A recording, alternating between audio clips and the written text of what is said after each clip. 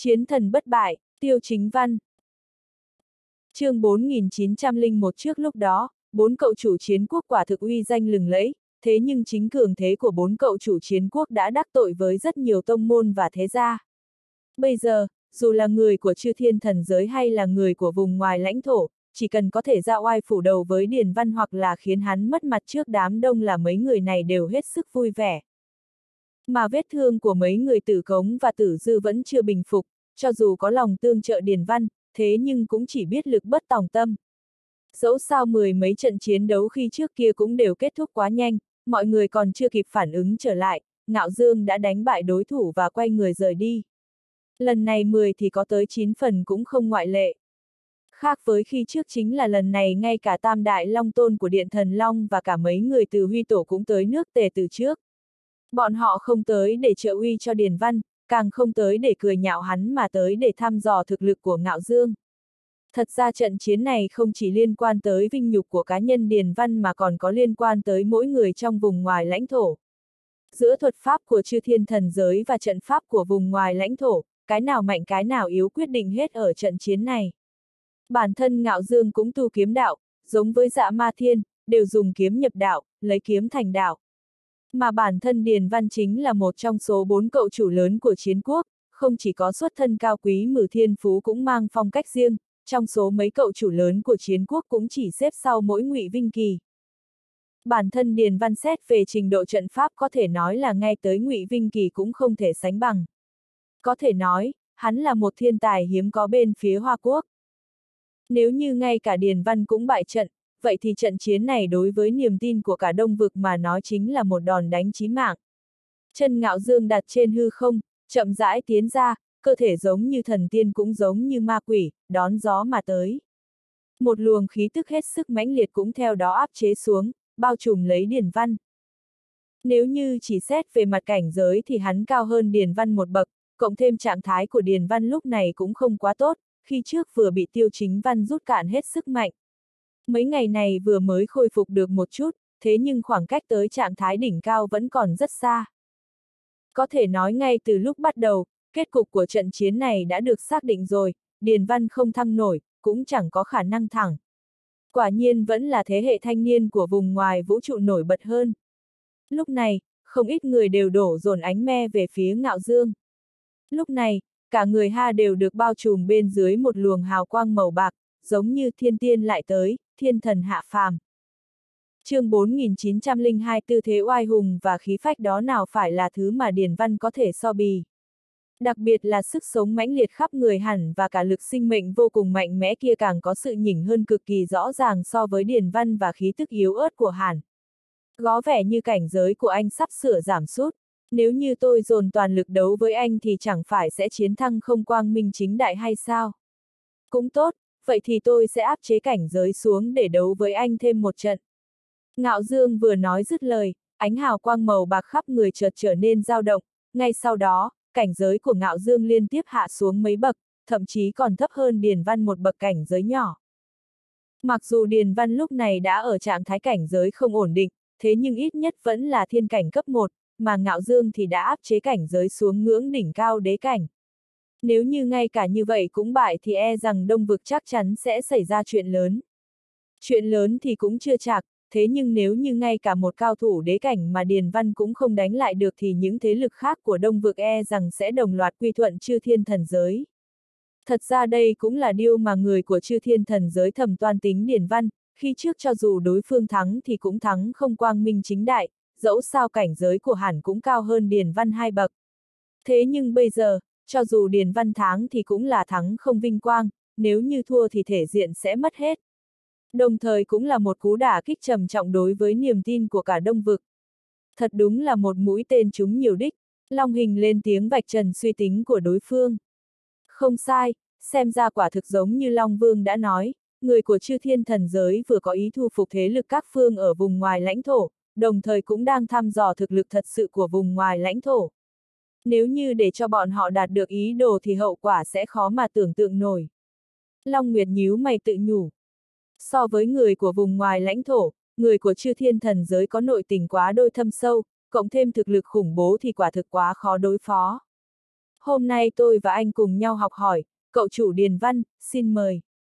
Ngạo Dương căn bản chẳng buồn quan tâm tới đám người đứng quan sát xung quanh, giơ tay ỏ ý mời với Điền Văn, rõ ràng muốn để cho Điền Văn ra tay trước.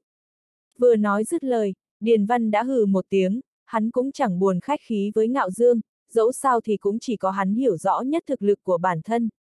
Cho dù thắng không vinh quang thì cũng buộc phải thăng, chỉ cần hẳn bại trận thì chắc chắn hắn sẽ trở thành kẻ tội đồ của cả đông vực. Hơn nữa, càng quan trọng hơn là hắn còn đại diện cho nước tề, càng là thế tử của nước tề.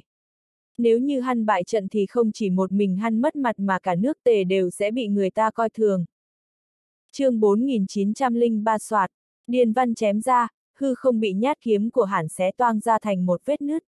Ánh lửa nơi chân trời giáng xuống từ trong kẽ hở kia, hơn nữa còn ngưng tụ thành một con rồng lửa chỉ trong nháy mắt. Chỉ thấy rồng lửa nhe nanh múa vuốt lao thẳng về phía ngạo dương. Lẽ nào đây chính là thực lực của bốn cậu chủ chiến quốc, ngạo dương cười khẩy, sau đó vung một tay lên, ánh sáng màu bạc xuất hiện ngập trời. Con rồng lửa đó lập tức bị ánh sáng màu bạc bao vây chặt chẽ. Ngạo dương vừa ra tay, khí tức lập tức thay đổi, hoàn toàn khác so với trước đây. Trong chớp mắt, vô số tia sáng ngưng tụ lại thành tia sáng chói mắt, chấn động cả bầu trời.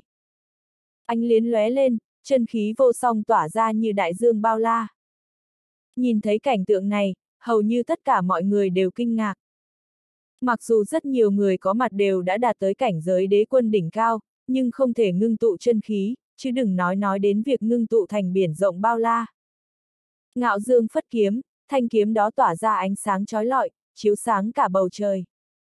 Chân khí xung quanh hình thành nên đại dương chảy cuồng nhiệt, gần như tạo thành một giải ngân hà trong hư không. Đây không phải ảo giác, mà là thực sự tồn tại. Long hình vừa nhìn đã biết chiêu thức của ngạo dương khác với những người khác. Theo lý mà nói, những chiêu thức như vậy thường được tạo ra từ ảo ảnh, thật giả lẫn lộn. Đây mới là trận pháp chính của địa cầu và vùng ngoài lãnh thổ. Nhưng chư thiên thần giới thì hoàn toàn ngược lại, không có ảo ảnh, mọi thứ đều vô cùng chân thật. Với tư cách là tam đại long tôn của Điện Thần Long, ba người bọn họ đã từng thấy vô số trận pháp và thuật pháp, nên hiểu rõ về ý nghĩa sâu xa của các trận pháp và thuật pháp. Nhưng bọn họ vẫn kinh ngạc khi đối mặt với thuật pháp này của Ngạo Dương. Lúc này trong đế khư, Hắc Bá lo lắng nói, cậu tiêu, theo tôi thấy, ý của nhà họ Trần là tạm thời hòa giải với Điện Thần Long, tránh để xảy ra chuyện lớn vào thời điểm nhạy cảm này. Thực lực của vùng ngoài lãnh thổ hiện nay so với chư thiên thần giới đã không cùng một đẳng cấp, từ việc Erdogan và Kaius thất bại thảm hại trong vòng 3 chiêu, đã có thể nhìn ra thực lực của bọn họ. Mà nhà họ Trần cũng muốn xoa dịu mối quan hệ với Điện Thần Long bằng cách bày tỏ thiện chí với Tiêu Chính Văn.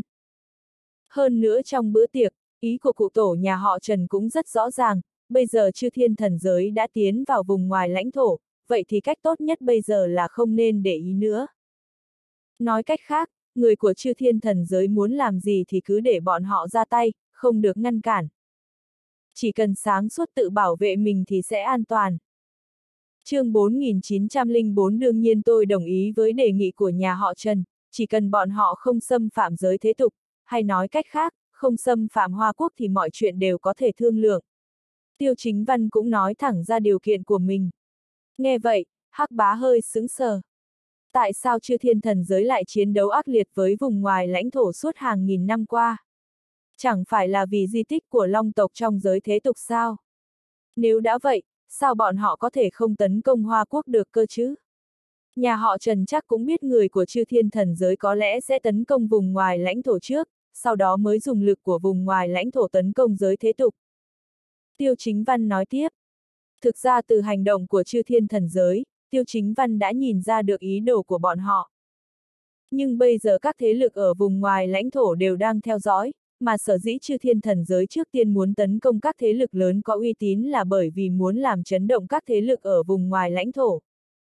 Một khi chư thiên thần giới đạt được mục đích, vậy thì toàn bộ vùng ngoài lãnh thổ sẽ quy phục dưới chân chư thiên thần giới, đến lúc đó, các thế lực ở vùng ngoài lãnh thổ đều sẽ trở thành con tốt để chư thiên thần giới tấn công giới thế tục.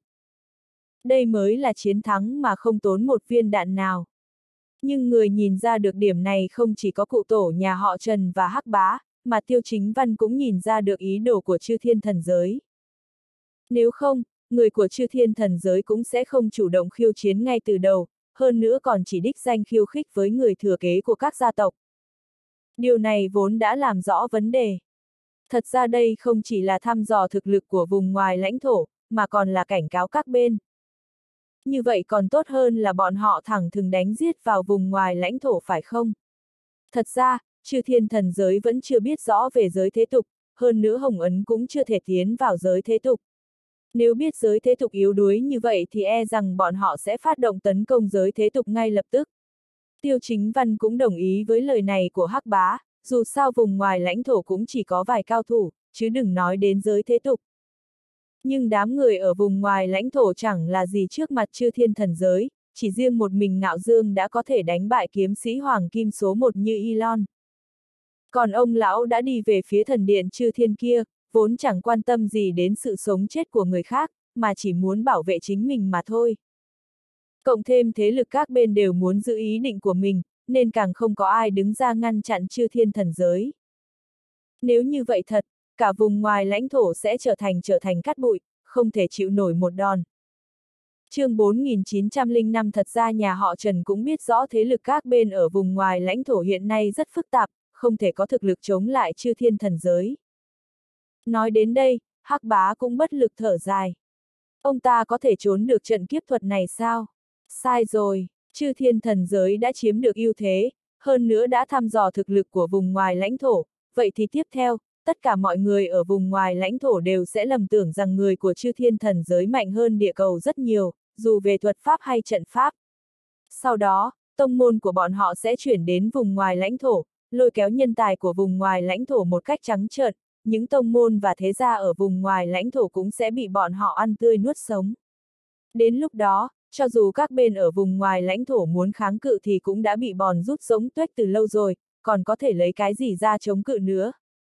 Nghe tiêu chính văn nói vậy, hắc bá hít sâu nói, lẽ nào bọn họ cứ trơ mắt nhìn mình bị ăn mòn sao? Bọn họ cũng muốn phản kháng, nhưng vấn đề là đến lúc đó sức mạnh nòng cốt của các môn phái đều đã trở thành người của chư thiên thần giới, bọn họ còn gì để kháng cự đây? Một mình chiến đấu, muốn lấy lùi làm tiến sao? Bọn họ thật quá ngây thơ. Cả nhà họ Trần, nước Tề, nước Ngụy, nước Triệu hay nhà họ Khổng thì cuối cùng cũng chỉ có thể trở thành đồ bỏ đi trong tay chư thiên thần giới mà thôi. Chỉ cần bọn họ mất đi giá trị lợi dụng thì kết cục cuối cùng vẫn sẽ bị tiêu diệt mà thôi. Tiêu chính văn chế nhạo. Cái gì? Hắc bá trở nên trầm mặc. Lẽ nào ông thật sự cho rằng sau khi chư thiên thần giới mở kết giới với vũ trụ, tất cả rời ra vùng ngoài lãnh thổ, thì những lão quái vật kia còn hữu dụng sao? Ông phải biết rằng lúc đế tuấn còn sống cũng chỉ có thể ngang bằng với chư thiên thần giới, bây giờ đế tuấn không còn nữa, ai có thể đấu lại nổi chư thiên thần giới đây? Nói trắng ra, những lão quái vật kia chỉ là vài con cá lọt lưới mà thôi. Ở thời đế tuấn, có lẽ bọn họ chỉ ở cấp bậc trung hạ lưu, dựa vào bọn họ để bảo vệ địa cầu đúng là mơ mộng viển vông. Tiêu chính văn chế nhạo thêm, thật ra nước tề, nước ngụy hay nhà họ khổng đều có những quân bài riêng chưa lộ diện, bọn họ vẫn đang nghĩ về việc đấu đá nội bộ, đúng là nực cười. Ngay cả tiêu chính văn cũng thầm thở dài, không phải vì anh quá bi quan, mà là bởi vì tình hình chắc chắn sẽ phát triển theo hướng anh nói. Ý của cậu tiêu là gì? Hắc bá nhìn tiêu chính văn với vẻ nghiêm túc. Tôi không quan tâm người khác thế nào, nhưng chắc chắn tôi sẽ không để yên đâu. Tiêu chính văn tỏ rõ thái độ của mình. Nghe đến đây, hắc bá cao chặt mày nói, cậu tiêu, nếu cậu xuất chiến thì chẳng phải những người trốn đằng sau này phải chịu thiệt sao? Tiêu chính văn cười nhạo nói, muốn lợi dụng tôi ư. Chúng đã tính sai rồi, chỉ cần tôi cảm thấy không thoải mái, ai trong số chúng cũng đừng hòng mơ đẹp. Audio điện tử võ tấn bền chương 4906 lúc này bên phía Điền Văn, tuyệt học của hắn bị kiếm cảnh của đối phương khóa chặt, sát khí của đối phương toát ra ngút trời, tuyệt kỹ hai bên va chạm vào trên không trung, tuyệt học của Điền Văn bị đánh rội về sau. Điền Văn không ngờ thực lực thiên cảnh của mình đánh một đế cảnh mà vẫn thua, chỉ trong thoáng chốc Điền Văn cũng ngơ ngác. Thuật pháp của đối phương thay đổi đa dạng, thần quỷ gì cũng không đoán được, hắn đâu thể nhìn ra.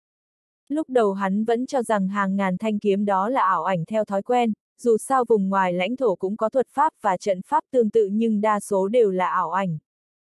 Nhưng hàng ngàn thanh kiếm này của đối phương lại là thật. Kiếm khí lao đến, kiếm khí như xé toạc không trung chém thẳng về phía hắn, Điền Văn chỉ biết sửng sốt đứng đó. Hàng trăm ngàn kiếm ảnh, hàng chục ngàn kiếm khí gần như bao phủ khắp bầu trời, gần như không thể né tránh được, thậm chí không có chỗ để trốn.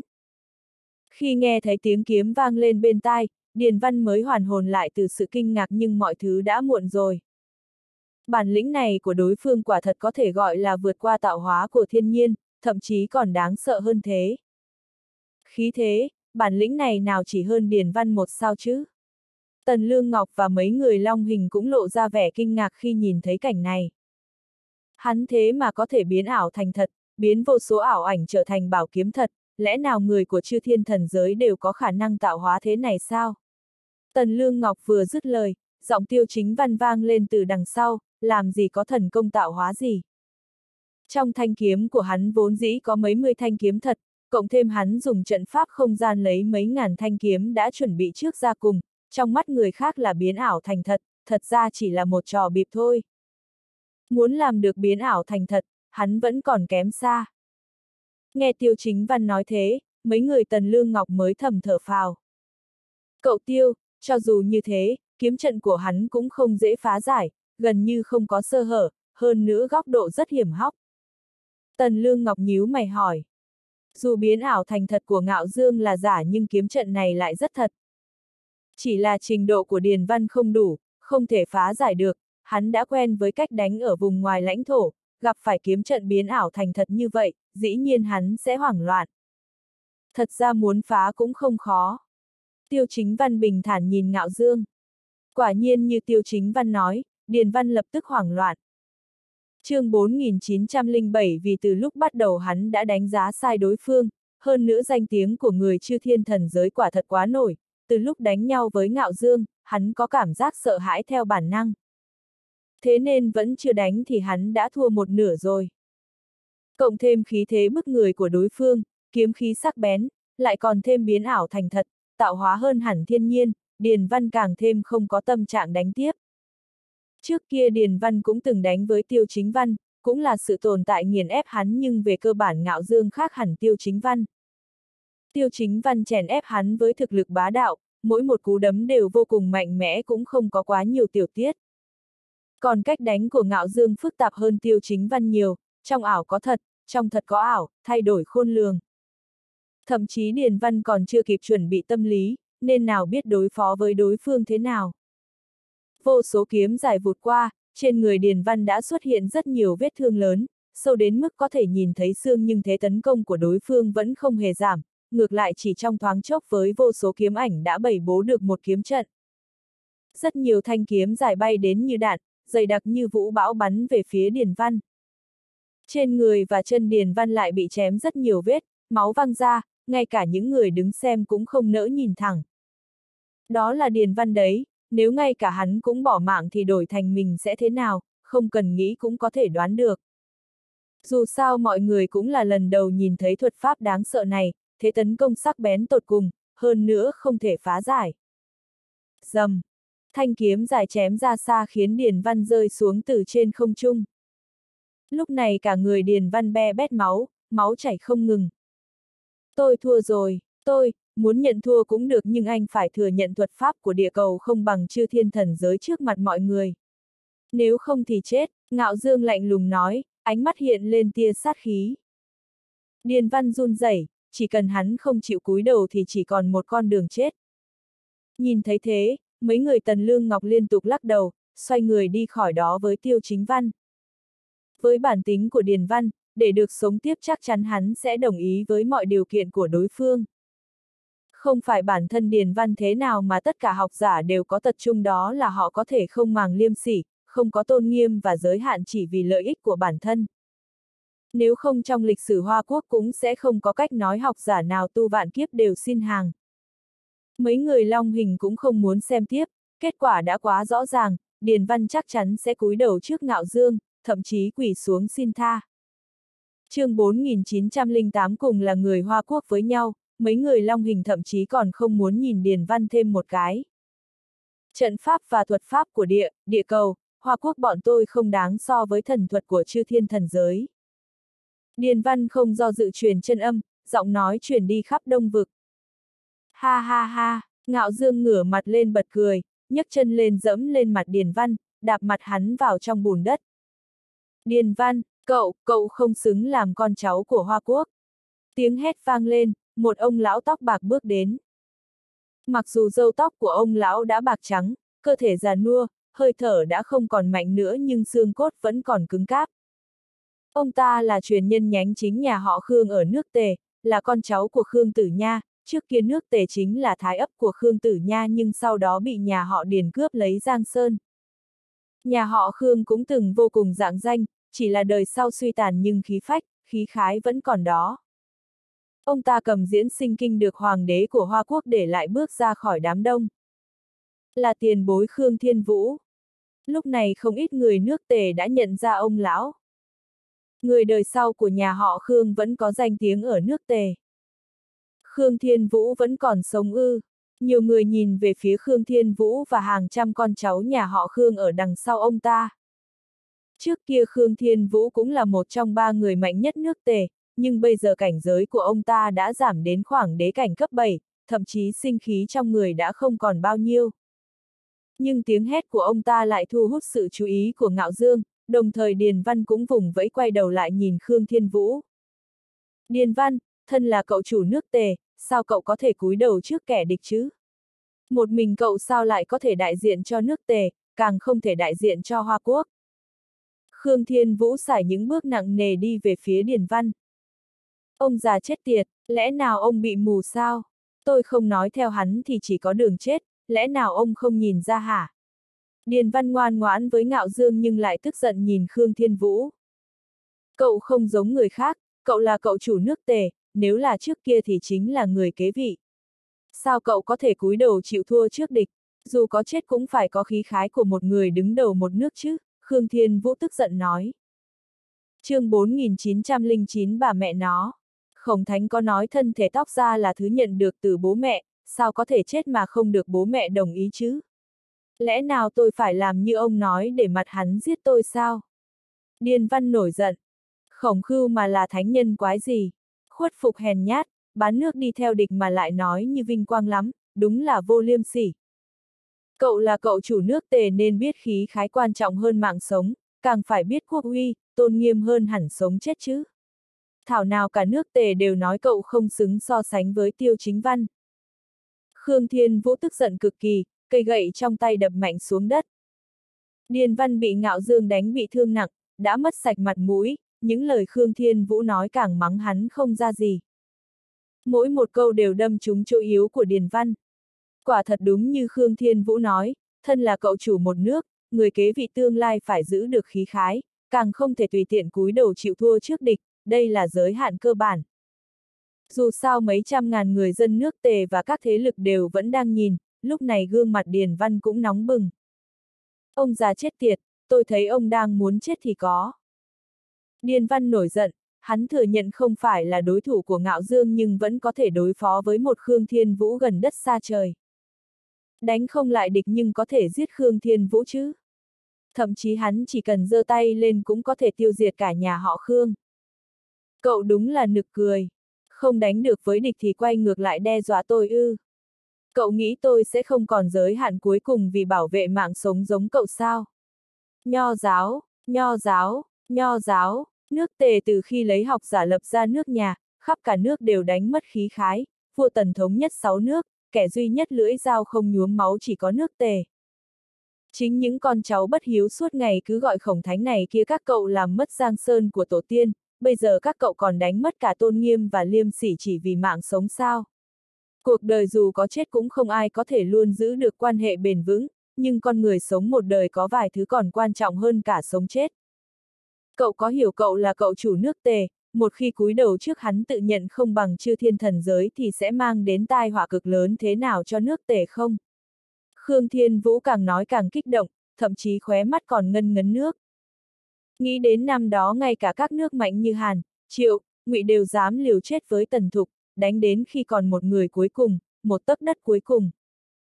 Nhưng nước Tề là đất nước lớn ở phương Đông mà lại chủ động ngoan ngoãn xin hàng trong lúc quân Tần còn chưa đánh đến biên giới, quốc vương nước tề càng hèn hạ quỳ xuống nghênh đón, đầu hàng với nước tần.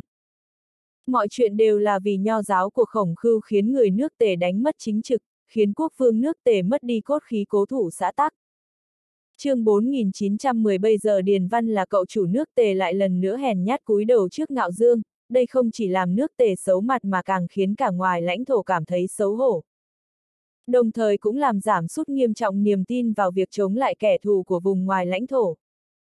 Thân là truyền nhân của nhà họ Khương, dù có chết Khương Thiên Vũ cũng không thể trơ mắt đứng nhìn. Đây không chỉ là vấn đề thể diện mà còn là vấn đề khí phách. Chỉ tiếc là ông ta đã già, tuổi thọ cũng không còn nhiều, cảnh giới cũng giảm sút liên tục. Nhưng dù có chết, ông ta cũng sẽ không thỏa hiệp với kẻ thù, đây chính là ngạo khí đàn ông của nhà họ Khương. Ông ta cũng biết rõ chỉ cần Điền Văn cúi đầu chịu thua ngạo dương thì sau này tinh thần binh sĩ của cả đông vực đều bị tổn thất, các thế lực khác của nước tề có còn ai dám đứng ra chống lại chư thiên thần giới. Thế nên dù có chết cũng không thể cúi đầu trước ngạo dương, đây là giới hạn cuối cùng của con dân nước tề. Thật ra Điền Văn cũng biết rõ đạo lý trong đó nhưng để được sống tiếp, giới hạn đã không còn quan trọng với hắn nữa. Người này đừng nói là đại diện cho Hoa Quốc, giờ cũng chẳng thể đại diện cho nước tề nữa kìa. Hắn chẳng qua chỉ là một kẻ ích kỷ, một con chó không biết liêm sỉ thôi. Lời này của Khương Thiên Vũ khiến Ngạo Dương cũng nhíu mày. Ngạo Dương vốn dĩ chỉ cần một câu của Điền Văn thôi, chỉ cần hắn có thể đại diện Hoa Quốc cúi đầu chịu thua với mình thì tức là hắn đã chinh phục được cả Đông Vực, chinh phục được giới võ thuật của Hoa Quốc. Tiếp theo chư thiên thần giới mới có thể tiếp tục tiếp nhận các thế lực ở Đông Vực, càng đạt đến mục đích khống chế cả Đông Vực, thậm chí là nuốt chửng cả vùng ngoài lãnh thổ. Ồ, nói như thế tức là ông có thể đại diện nước tề, đại diện Hoa Quốc ư, ngạo dương lạnh lùng nhìn Khương Thiên Vũ nói. Hừ, tôi chẳng qua chỉ là một ông già thôi, chỉ có thể đại diện cho bản thân. Mặc dù tôi tuổi đã cao nhưng cũng dám đánh với cậu đấy. Nước tề có hàng trăm ngàn đàn ông, ai muốn đồng lòng với ông già tôi. Khương Thiên Vũ cất cao giọng, khí thế cũng thay đổi, vẻ mặt lộ ra vẻ quyết đoán. Ông ta vừa nói thế, cả hiện trường đều trở nên yên tĩnh. Thật ra lúc này thế hệ lớn tuổi của nước tề đều giữ thái độ chờ đợi, dù sao thực lực của ngạo dương là thế, ai cũng không muốn đâm đầu vào chỗ chết chỉ vì khí khái gì kia.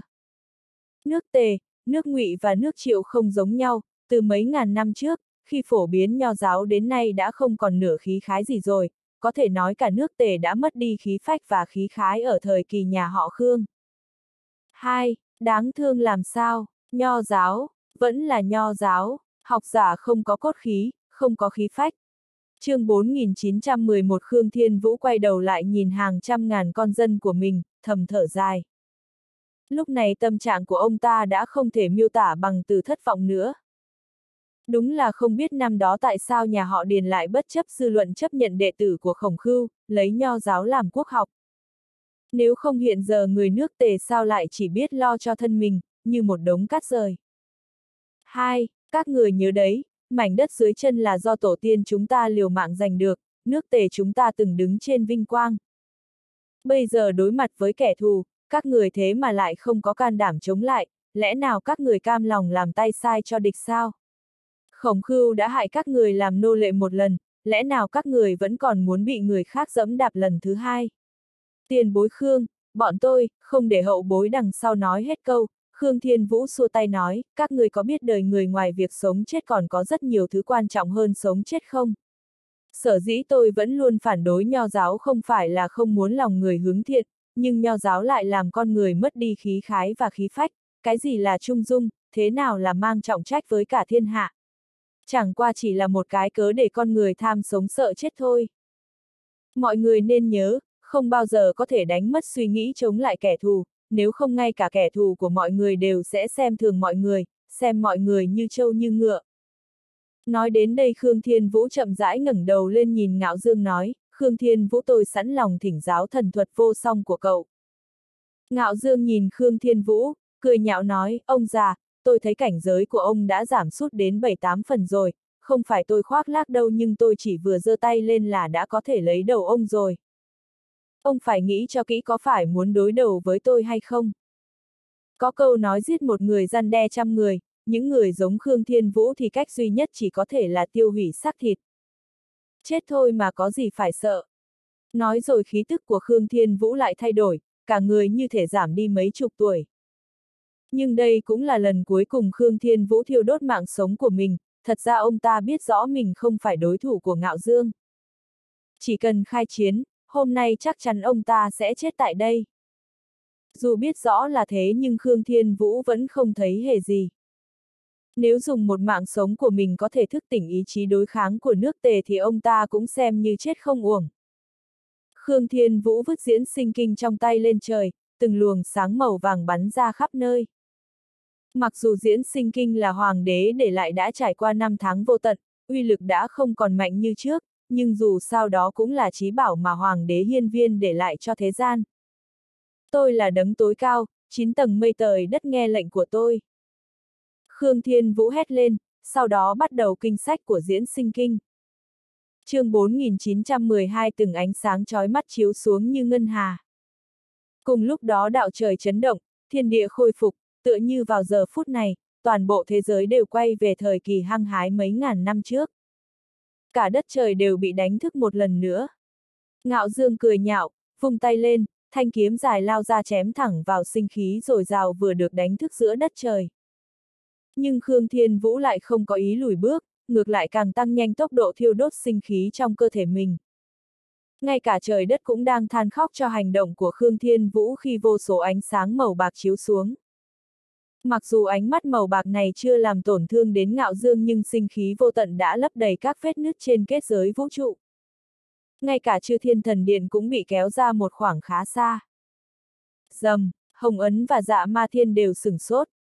Khương Thiên Vũ thế mà lại không tiếc thân mình muốn ngăn chư thiên thần giới. Hoa quốc và các thế lực khác đều khác nhau, từ xưa đến nay chưa từng có ai có thể chinh phục được nó, dù có chết họ cũng không chịu cúi đầu trước chúng ta. Hồng Ấn ngẩng đầu lên, lo lắng nhìn về phía nước tề. Mặc dù Khương Thiên Vũ đã gần cạn sức, nhưng đòn tấn công này của ông ta cũng gây ảnh hưởng lớn đến chư thiên thần giới, thiếu chút nữa đã đánh cho chư thiên thần giới thế lực đã đặt chân vào vùng ngoài lãnh thổ phải gắng gượng cút về. Vào thời khắc mấu chốt, một đạo kiếm khí chém chẳng lên bầu trời. Trong chớp mắt, khí tức phát ra từ trong diễn sinh kinh bị cắt cứt. Ngạo Dương không khỏi kinh ngạc, kiếm khí đáng sợ kia rõ ràng là phát ra từ trong chư thiên thần giới, hơn nữa thực lực của người chém ra đạo kiếm này vượt xa dạ ma thiên. Hắn không ngờ đòn chí mạng cuối cùng của Khương Thiên Vũ lại chấn động cả nhân vật lớn đứng sau chư thiên thần giới.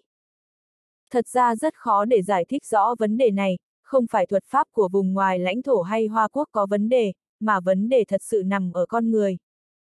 Sau khi chém nứt liên hệ giữa diễn sinh kinh và Khương Thiên Vũ, đạo kiếm khí tia liền thay đổi góc độ, phóng về phía Khương Thiên Vũ. Trong nháy mắt, trên người Khương Thiên Vũ đã bị chém mấy chục vết thương sâu vào xương, Khương Thiên Vũ vốn đã kiệt sức giờ đang hấp hối. Ông ta đã quá già để có thể chịu được độ công kích mạnh thế này. Lúc này, Khương Thiên Vũ không chịu nổi nữa, phun ra một ngụm máu lớn. chương 4913 cho đến khi chút hơi thở cuối cùng, Khương Thiên Vũ vẫn nhìn diễn sinh kinh trong tay, trong mắt tràn đầy oán hận. Nếu ông ta còn trẻ, nếu cảnh giới của ông ta chưa bị sụt giảm, nhưng trên đời này không có nếu như, lúc này ông ta đã không còn chút sức lực nào nữa, nhưng lại huy động diễn sinh kinh. Thiên viên hoàng đế, Khương Thiên Vũ chưa kịp nói xong, lại phun thêm một ngụm máu lớn.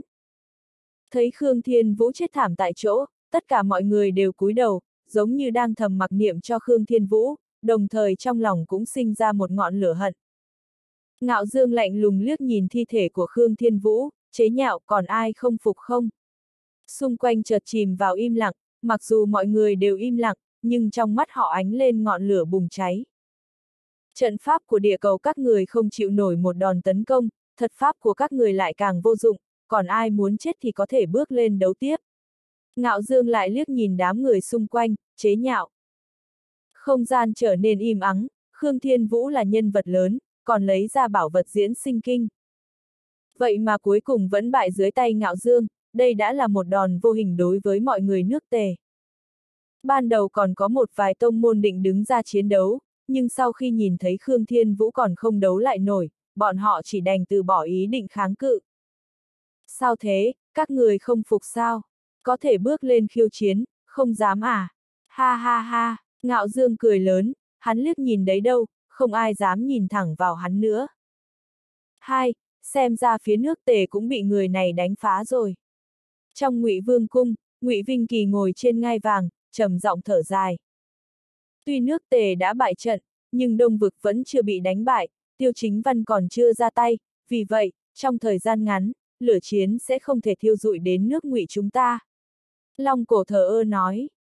ngụy Vinh Kỳ nghe vậy, lắc đầu nói, không thể nào, bọn họ sẽ không bao giờ gây chuyện với tiêu chính văn, càng không bao giờ khiêu khích điện thần long, ít nhất trong giờ gian ngắn, đắc tội với tiêu chính văn không hề có lợi cho bọn họ.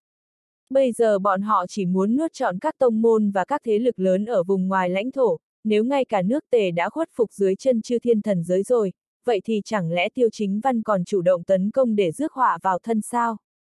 Ngụy Vinh Kỳ lắc đầu nói lại. Nếu là hắn, hắn sẽ không hấp tấp tấn công chư thiên thần giới vào lúc này. Tôi thấy chưa chắc, Long Cổ khá tin tưởng vào tiêu chính văn. Khiêu chiến với chư thiên thần giới vào lúc này chẳng phải làm mướn không công cho đông vực sao. Loại người mưu mô như tiêu chính văn sao có thể không nhìn ra được thế cục hiện tại.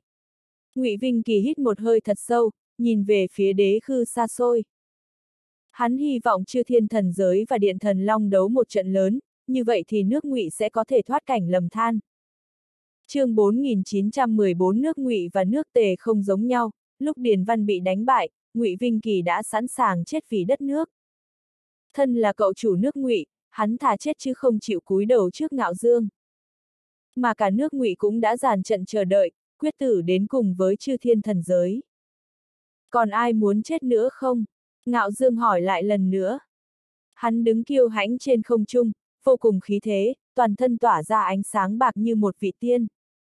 Nhìn thấy cảnh này, người nước tề đều nản chí ngã lòng. Ngạo Dương cũng chỉ là một tiểu bối trong chư thiên thần giới, nhưng một mình có thể thắng liên tiếp mấy trận, hơn nữa còn san bằng nước tề trong một ngày. Đây mới chỉ là một mình hắn, nếu người của cả chư thiên thần giới tiến vào thì vùng ngoài lãnh thổ còn sức kháng cự sao.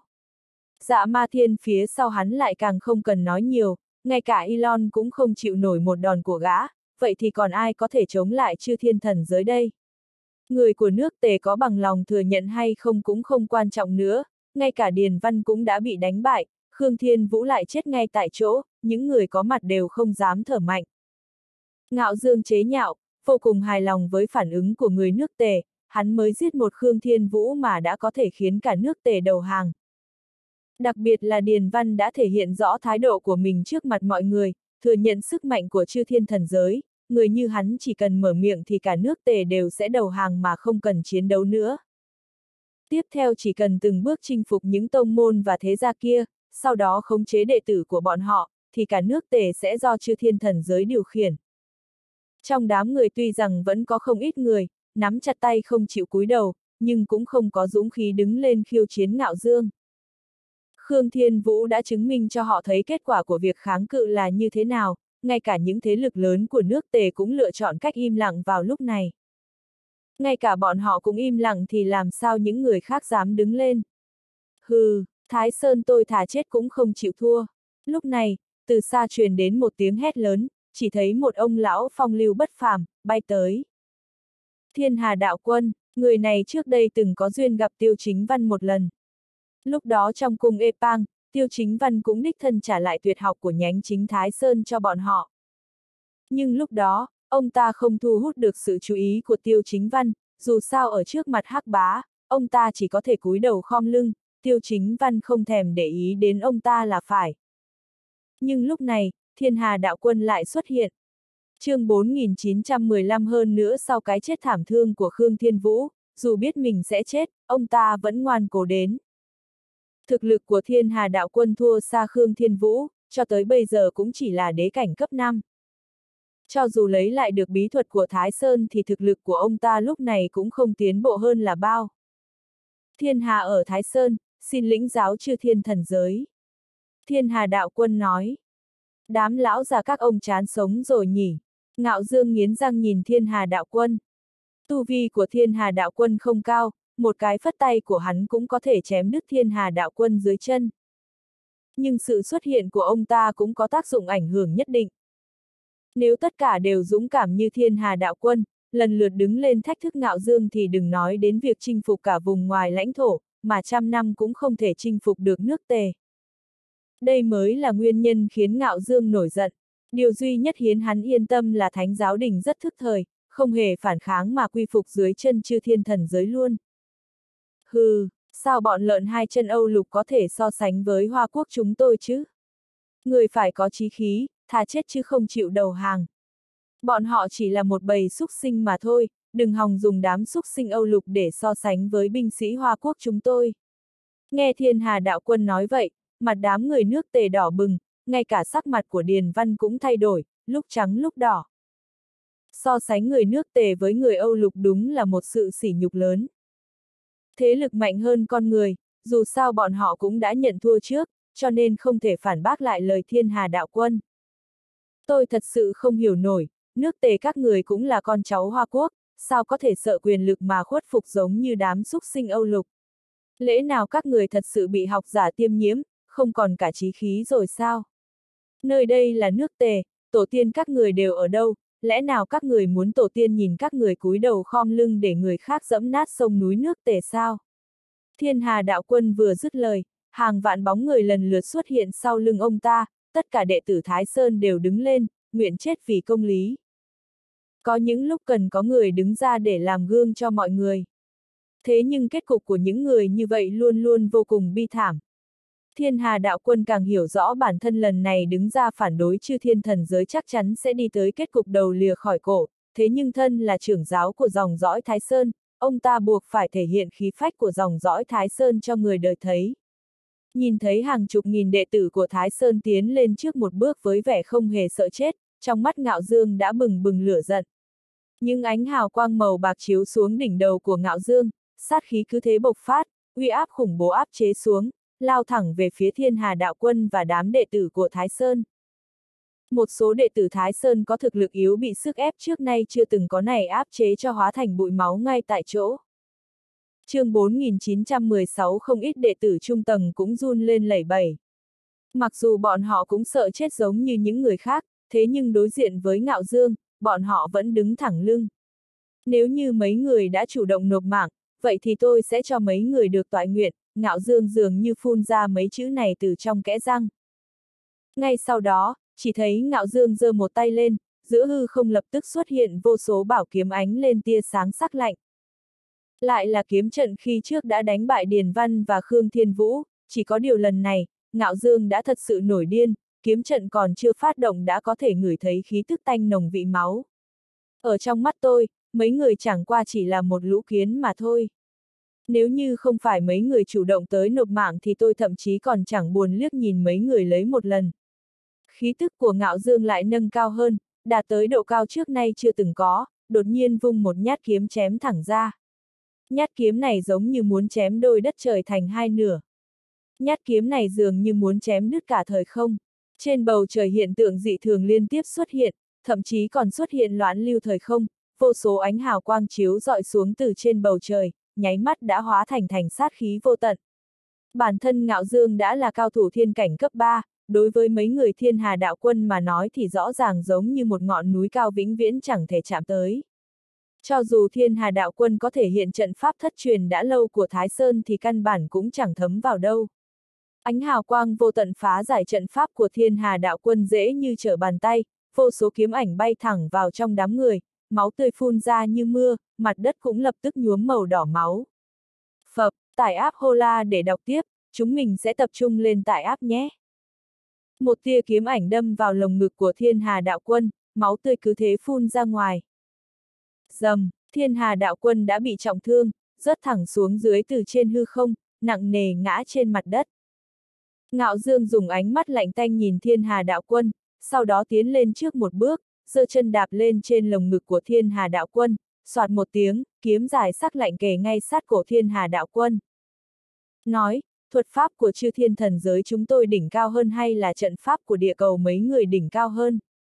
Hừ, thiên hà đạo quân không có chút ý nghĩ quy phục nào trước ánh mắt phẫn nộ của ngạo dương. Cho dù ông không muốn thừa nhận thì cũng có thể làm được gì. Ở trước thực lực tuyệt đối, ông chỉ nực cười như một tên hề đang làm trò mà thôi, ngạo dương nói rồi vung kiếm lên, chém nứt cánh tay trái của thiên hà đạo quân. chương 4917 thiên hà đạo quân nghiến răng, kiên quyết không kêu lên dù chỉ một tiếng, mồ hôi lạnh men theo chán của thiên hà đạo quân chảy xuống dưới. Để tôi xem ông có thể kiên trì được bao lâu. Vừa nói dứt lời, ngạo dương lại vung kiếm lên chém xuống. Phập, bên cánh tay còn lại của thiên hà đạo quân cũng bị chặt đứt. Máu tươi phun ra như suối, đau đớn tới độ sắc mặt của thiên hà đạo quân trở nên trắng bệch, cả người run rẩy không thôi. Đây chính là trận pháp của địa cầu mấy người hả? Rõ ràng quá đội yếu ớt, ở trước mặt tôi, loại trận pháp này chỉ như đồ bỏ đi, ngạo dương bình thản cười, sau đó lại giơ tay lên, phá nát trận pháp của Thái Sơn. Trận pháp, ha ha ha, rõ ràng quá đỗi nực cười, loại trận pháp này e rằng còn chẳng dọa nổi đứa trẻ 3 tuổi ý nhỉ. Lão già, tuổi tác đã cao rồi, lẽ nào không ngại mất mặt sao? Hừ, cho dù vẻ bề ngoài trông cậu còn trẻ tuổi, khả năng cao cũng tới mấy nghìn năm tuổi rồi ý nhỉ, thiên hà đạo quân cố gắng chịu đựng cơn đau, lạnh lùng chất vấn. Tôi ư, tới bây giờ cũng chỉ mới có trăm tuổi mà thôi, ngạo dương cười lạnh lùng nói.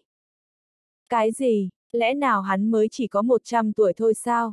Mới có một trăm tuổi đã có tu vi như vậy, chư thiên thần giới quả nhiên quá khủng bố. Nếu nổi lại ở vùng ngoài lãnh thổ, ở độ tuổi như hắn căn bản không thể có, người đó vẫn còn chưa nói hết câu, một cái tên khác đã ngay lập tức xuất hiện trong đầu anh ta. Ngoại trừ ngạo dương ra, vẫn còn một sự tồn tại quá đỗi quái dị tiêu chính văn. Kỳ tài thế tục còn chưa đầy 30 tuổi, tuyệt đối không hề thua kém hơn ngạo dương. Thế nhưng đưa mắt trông ra cả vùng ngoài lãnh thổ, cũng chỉ có một mình tiêu chính văn là có thể so bì với ngạo dương mà thôi. Có điều, theo như tôi thấy, ít nhất ông cũng tới cả nghìn tuổi rồi nhỉ. Trong một nghìn năm này, lẽ nào ông sống mà chả có tích sự gì hay sao? Ngoại trừ khí phách ra thì ông còn có cái gì? Dùng khí phách của ông đánh bại tôi? Hay là dùng khí phách của ông giết chết tôi? Ngạo Dương nói tới đây thì ngửa mặt cười lớn. Hắn nói không hề sai, ở trước mặt thực lực tuyệt đối thì khí phách căn bản chẳng có tác dụng gì. Lúc nói chuyện, Ngạo Dương đã cầm kiếm trong tay, trong mắt bừng bừng sát khí. Chỉ cần nhát kiếm này của hắn chém xuống thì chắc chắn thiên hà đạo quân chỉ còn đường chết. Tất cả mọi người xung quanh, bao gồm cả đệ tử dòng dõi Thái Sơn đều đồng loạt lộ ra vẻ mặt tuyệt vọng. Thế lực các phương của nước tề cũng đồng loạt cúi đầu xuống, người có tư cách xuất trận bây giờ đều đã bại trận rồi. Đầu tiên là Thánh Giáo Đình, sau đó là Điền Văn, tiếp đó là Khương Thiên Vũ, cuối cùng lại là Thiên Hà Đạo Quân chương 4918 những người dám đứng ra, không phải bại trận chuốc lấy nhục nhã thì chính là bị giết chết ngay tại chỗ, lúc này, đám người của nước tề ngoại trừ than khóc ra thì còn có thể làm được gì? Đi cứu thiên hà đạo quân sao? Bọn họ không có dũng khí đấy, đặc biệt khi đối diện với ngạo dương chỉ mới 100 tuổi mà thôi, tuyệt đại đa số thế hệ thanh niên đang có mặt đều tự cảm thấy hổ thẹn. Đừng nói là lớp trẻ không dám tiến lên trước đấu với hắn một trận, ngay cả lớp lão làng cũng có được mấy người dám đối kháng với hắn. Lúc này, gần như niềm tin của mọi người đều đã sụp đổ, dù bọn họ cũng không muốn thừa nhận, thế nhưng sự thật đang bày ra ngay trước mắt. Một hậu bối chỉ khoảng 100 tuổi đánh cho thiên hà đạo quân tuổi đời đã nghìn năm không còn sức để đánh trả, bọn họ còn có khả năng chiến thắng chư thiên thần giới sao. Người không sợ tuyệt vọng, nhưng chỉ sợ không nhìn ra được hy vọng. Vào khoảnh khắc nhát kiếm đó của ngạo dương sắp chém xuống, đột nhiên có một bóng người xuất hiện ngay bên cạnh thiên hà đạo quân, cùng với một màn ánh sáng màu vàng, ánh hào quang vô cùng chói mắt hình thành nên một vách chắn ngay trước người thiên hà đạo quân. Màn ánh sáng màu vàng này hết sức chói mắt, giống như một vầng thái dương màu vàng vậy, nháy mắt đã chiếu cho phạm vi cả trăm dặm xung quanh biến thành sắc vàng. Tiền bối thiên hà, ông có thể có khí phách như vậy, dòng dõi hoa sơn chúng tôi hết sức kính phục.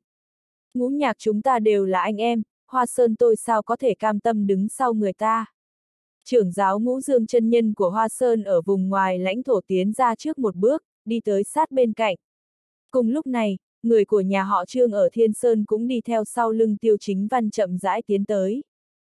Thật ra nhát kiếm này của ngạo dương căn bản không dùng bao nhiêu sức lực, dẫu sao thiên hà đạo quân cũng đã trở thành cá trong chậu rồi, thế nhưng vào khoảnh khắc màn ánh sáng màu vàng đó lóe lên, ngạo dương cũng lập tức tăng thêm mấy phần sức lực. ầm, um, một giây sau, một tiếng vang lớn truyền tới, gần như màng nhĩ của tất cả mọi người đều sắp sửa bị chấn động tới rách ra luôn. Giữa đất trời xuất hiện ánh sáng màu vàng chói mắt, nhát kiếm đó của ngạo dương cắm vào trong màn sáng màu vàng, vậy mà lại chẳng thể khiến cho thiên hà đạo quân bị thương. Lúc này, ngay cả bản thân thiên hà đạo quân cũng đã ngơ ngác tại chỗ. Đây đúng là bí thuật của Hoa Sơn, thế nhưng cũng chỉ là trận pháp sơ khai nhất của Hoa Sơn mà thôi. Mặc dù trận pháp không gian được trời yêu ái, thế nhưng nếu như muốn ngăn chặn đòn đánh của Ngạo Dương thì làm gì có chuyện dễ dàng. Tuy nhiên chính loại trận pháp cơ bản nhất này lại bảo vệ được thiên hà đạo quân an toàn trước đòn công kích toàn lực của Ngạo Dương. chương 4919 hả? Đây là trận pháp gì? Ngạo Dương cũng ngẩn ra. Chỉ là trận pháp không gian đơn giản nhất mà thôi, loại trận pháp này, mỗi một đệ tử Hoa Sơn trong vòng 3 năm nhập môn đều có thể đạt tới ngưỡng tinh thông. Tiêu chính văn nói rồi xài bước tiến lại gần. Nhìn thấy tiêu chính văn, mọi người đang có mặt đều hết sức ngạc nhiên. Không một ai ngờ được tiêu chính văn lại đích thân tới giải vây cho thiên hà đạo quân. Phải biết rằng khi còn ở thế tục, năm đại danh sơn từng có ân oán với tiêu chính văn, hiện giờ tiêu chính văn lại vì cứu thiên hà đạo quân mà không ngại đắc tội với chư thiên thần giới. Ngạo dương lạnh lùng liếc nhìn tiêu chính văn, khẽ lắc đầu nói, ồ. Trong vòng 3 năm mỗi một đệ tử Hoa Sơn đều có thể tinh thông. E rằng câu nói này của anh hơi quá lời rồi thì phải. Rất rõ ràng, Ngạo Dương căn bản không tin lời tiêu chính văn nói. Hơn nữa, ngay từ giây phút đầu tiên hắn đã nhận ra tiêu chính văn, trong lòng cũng có phần nôn nóng muốn thử. Vốn dĩ dựa theo kế hoạch của bọn họ thì sẽ là do thầy của hắn là dạ ma thiên đích thân giết chết tiêu chính văn, hoàn toàn đánh tan quyết tâm đối kháng của vùng ngoài lãnh thổ. Thế nhưng nếu như tiêu chính văn đã chủ động tới nộp mạng thì hắn việc gì phải khách khí. Hơn nữa, xét ở vùng ngoài lãnh thổ, tiêu chính văn có thể nói là một chiêu bài chữ vàng, đừng nói là giết tiêu chính văn, chỉ riêng chuyện đánh bại tiêu chính văn thì công trạng này cũng đã vượt trội hơn hẳn điền văn đánh bại hàng chục nghìn người rồi. Ngạo Dương chậm rãi xoay người lại nhìn tiêu chính văn nói, anh là tiêu chính văn à? Người tôi đợi chính là anh.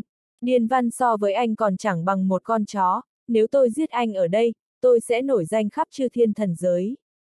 Nghe vậy, Điền văn đang quỳ bên cạnh đỏ bừng mặt, hắn thật sự muốn tìm một cái lỗ để chui xuống.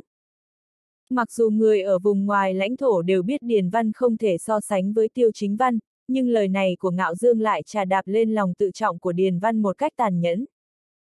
Bị một đối thủ vừa đánh bại mình, mình đã tỏ ý bội phục hắn, chứng tỏ còn không bằng một con chó, ngay cả người mặt dày cũng cảm thấy nhục nhã. Ngạo Dương nói vậy một phần là vì hắn không hề coi Điền Văn ra gì, loại hèn nhát như Điền Văn không xứng để hắn nhìn lần thứ hai. Mặt khác, hắn cho rằng tu vi của mình có thể khiêu chiến với Tiêu Chính Văn. Đợi tôi, lẽ nào anh không sợ phải trả giá đắt sao? Tiêu Chính Văn lạnh lùng nói. Trước đây, Tiêu Chính Văn còn có thể nương tay với người ở vùng ngoài lãnh thổ, nhưng chắc chắn sẽ không tha cho người của chư thiên thần giới. Tôi đã được nghe danh anh, sức chiến đấu của anh rất mạnh, ngay cả dạ ma thiên là sư phụ của tôi cũng phải khen ngợi, nhưng lần này, tôi sẽ chứng minh thuật pháp của chư thiên thần giới mạnh hơn rất nhiều so với trận pháp của địa cầu các người. Loại rác rưởi như bọn họ thật khiến tôi thất vọng, có thể đấu với anh vài chiêu cũng coi như là không uổng phí. Ngạo Dương tự tin nói. chương 4920 Ngạo Dương không phải là kẻ ngốc, lời nói vô cùng nể mặt tiêu chính văn, để ngộ nhỡ hắn thua thì tiêu chính văn sẽ tha cho hắn một con đường sống. Hơn nữa hắn còn nhấn mạnh hai chữ trận pháp, nói cách khác, tiêu chính văn chỉ có thể dùng trận pháp ở địa cầu để đấu với hắn, không thể dùng thuật pháp. Như vậy thì tỷ lệ thắng của hắn sẽ cao hơn một chút. Trước đó, Ngạo Dương đã biết được vài tin tức về tiêu chính văn thông qua Hồng Ấn và nhà họ Trần, điều đáng sợ nhất của tiêu chính văn chính là khí thức của rồng. Mỗi lần đều dùng khí thức của rồng chút lên thanh giáo dài liệt long màu đỏ, hoặc kiếm tần vương để đánh bại kẻ địch chỉ bằng một chiêu. Nhưng nếu tiêu chính văn chỉ có thể sử dụng trận pháp thì mọi chuyện sẽ hoàn toàn khác, một mặt, tiêu chính văn đã bó chân bó tay rồi, mặt khác, trận pháp và thuật pháp không giống nhau, trận pháp cần thời gian bày trận, như vậy thì Ngạo Dương sẽ chiếm ưu thế hơn. Mặc dù Ngạo Dương nghi ngờ chuyện tiêu chính văn gần như bất khả chiến bại qua lời kể của Hồng Ấn và nhà họ Trần, nhưng hắn cũng không dám mạo hiểm tính mạng đối đầu trực tiếp với tiêu chính văn. Rõ ràng là hắn vẫn đề cao bản thân mà đánh giá thấp tiêu chính văn, thật ra thứ đáng sợ thực sự của tiêu chính văn không phải là khí thức của rồng mà là đạo cảnh của anh. Những chiêu thức đó có thể đem theo khí thức của rồng, không phải là từ kiếm tần vương hay thanh giáo liệt long màu đỏ, mà là vì tiêu chính văn đã lĩnh ngộ được cảnh giới quy chân, vì vậy mới có hiệu quả gấp bội. Được thôi, trận pháp cơ bản nhất của Hoa Quốc chúng tôi cũng đủ để giết anh rồi. Tiêu chính văn chế nhạo. Cậu tiêu, cậu đừng bất cẩn, thủ đoạn của người này không phải là thứ trận pháp có thể câm miệng. Tiêu chính văn lạnh lùng nhìn người vừa lên tiếng, trầm giọng nói, không ai dạy dỗ, học nghệ không tinh mà lại dám nói trận pháp của Hoa Quốc không ổn. Các người mới chính là kẻ bất tài. Các người nhìn cho kỹ đây. Trận pháp của Hoa Quốc chúng ta là bất khả chiến bại trên đời này. Ngay cả thuật pháp của chư thiên thần giới cũng không thể so sánh với trận pháp của Hoa Quốc chúng ta. Nghe vậy, tất cả mọi người đều vô cùng kinh ngạc. Mọi người ở đây đều biết thuật pháp của chư thiên thần giới mạnh đến mức nào, ngay cả diễn sinh kinh cũng không để đấu lại nổi, lẽ nào tiêu chính văn lại thật sự muốn dùng trận pháp cơ bản nhất để đấu với ngạo dương sao? Hơn nữa ngạo dương vốn đã nhắm vào tiêu chính văn, nếu tiêu chính văn thật sự làm theo những gì hắn nói thì chẳng phải anh sẽ rơi vào bẫy của đối phương sao? Anh phải nghĩ cho kỹ đấy, anh thật sự muốn dùng trận pháp đấu với tôi sao? Ngạo dương chế nhạo.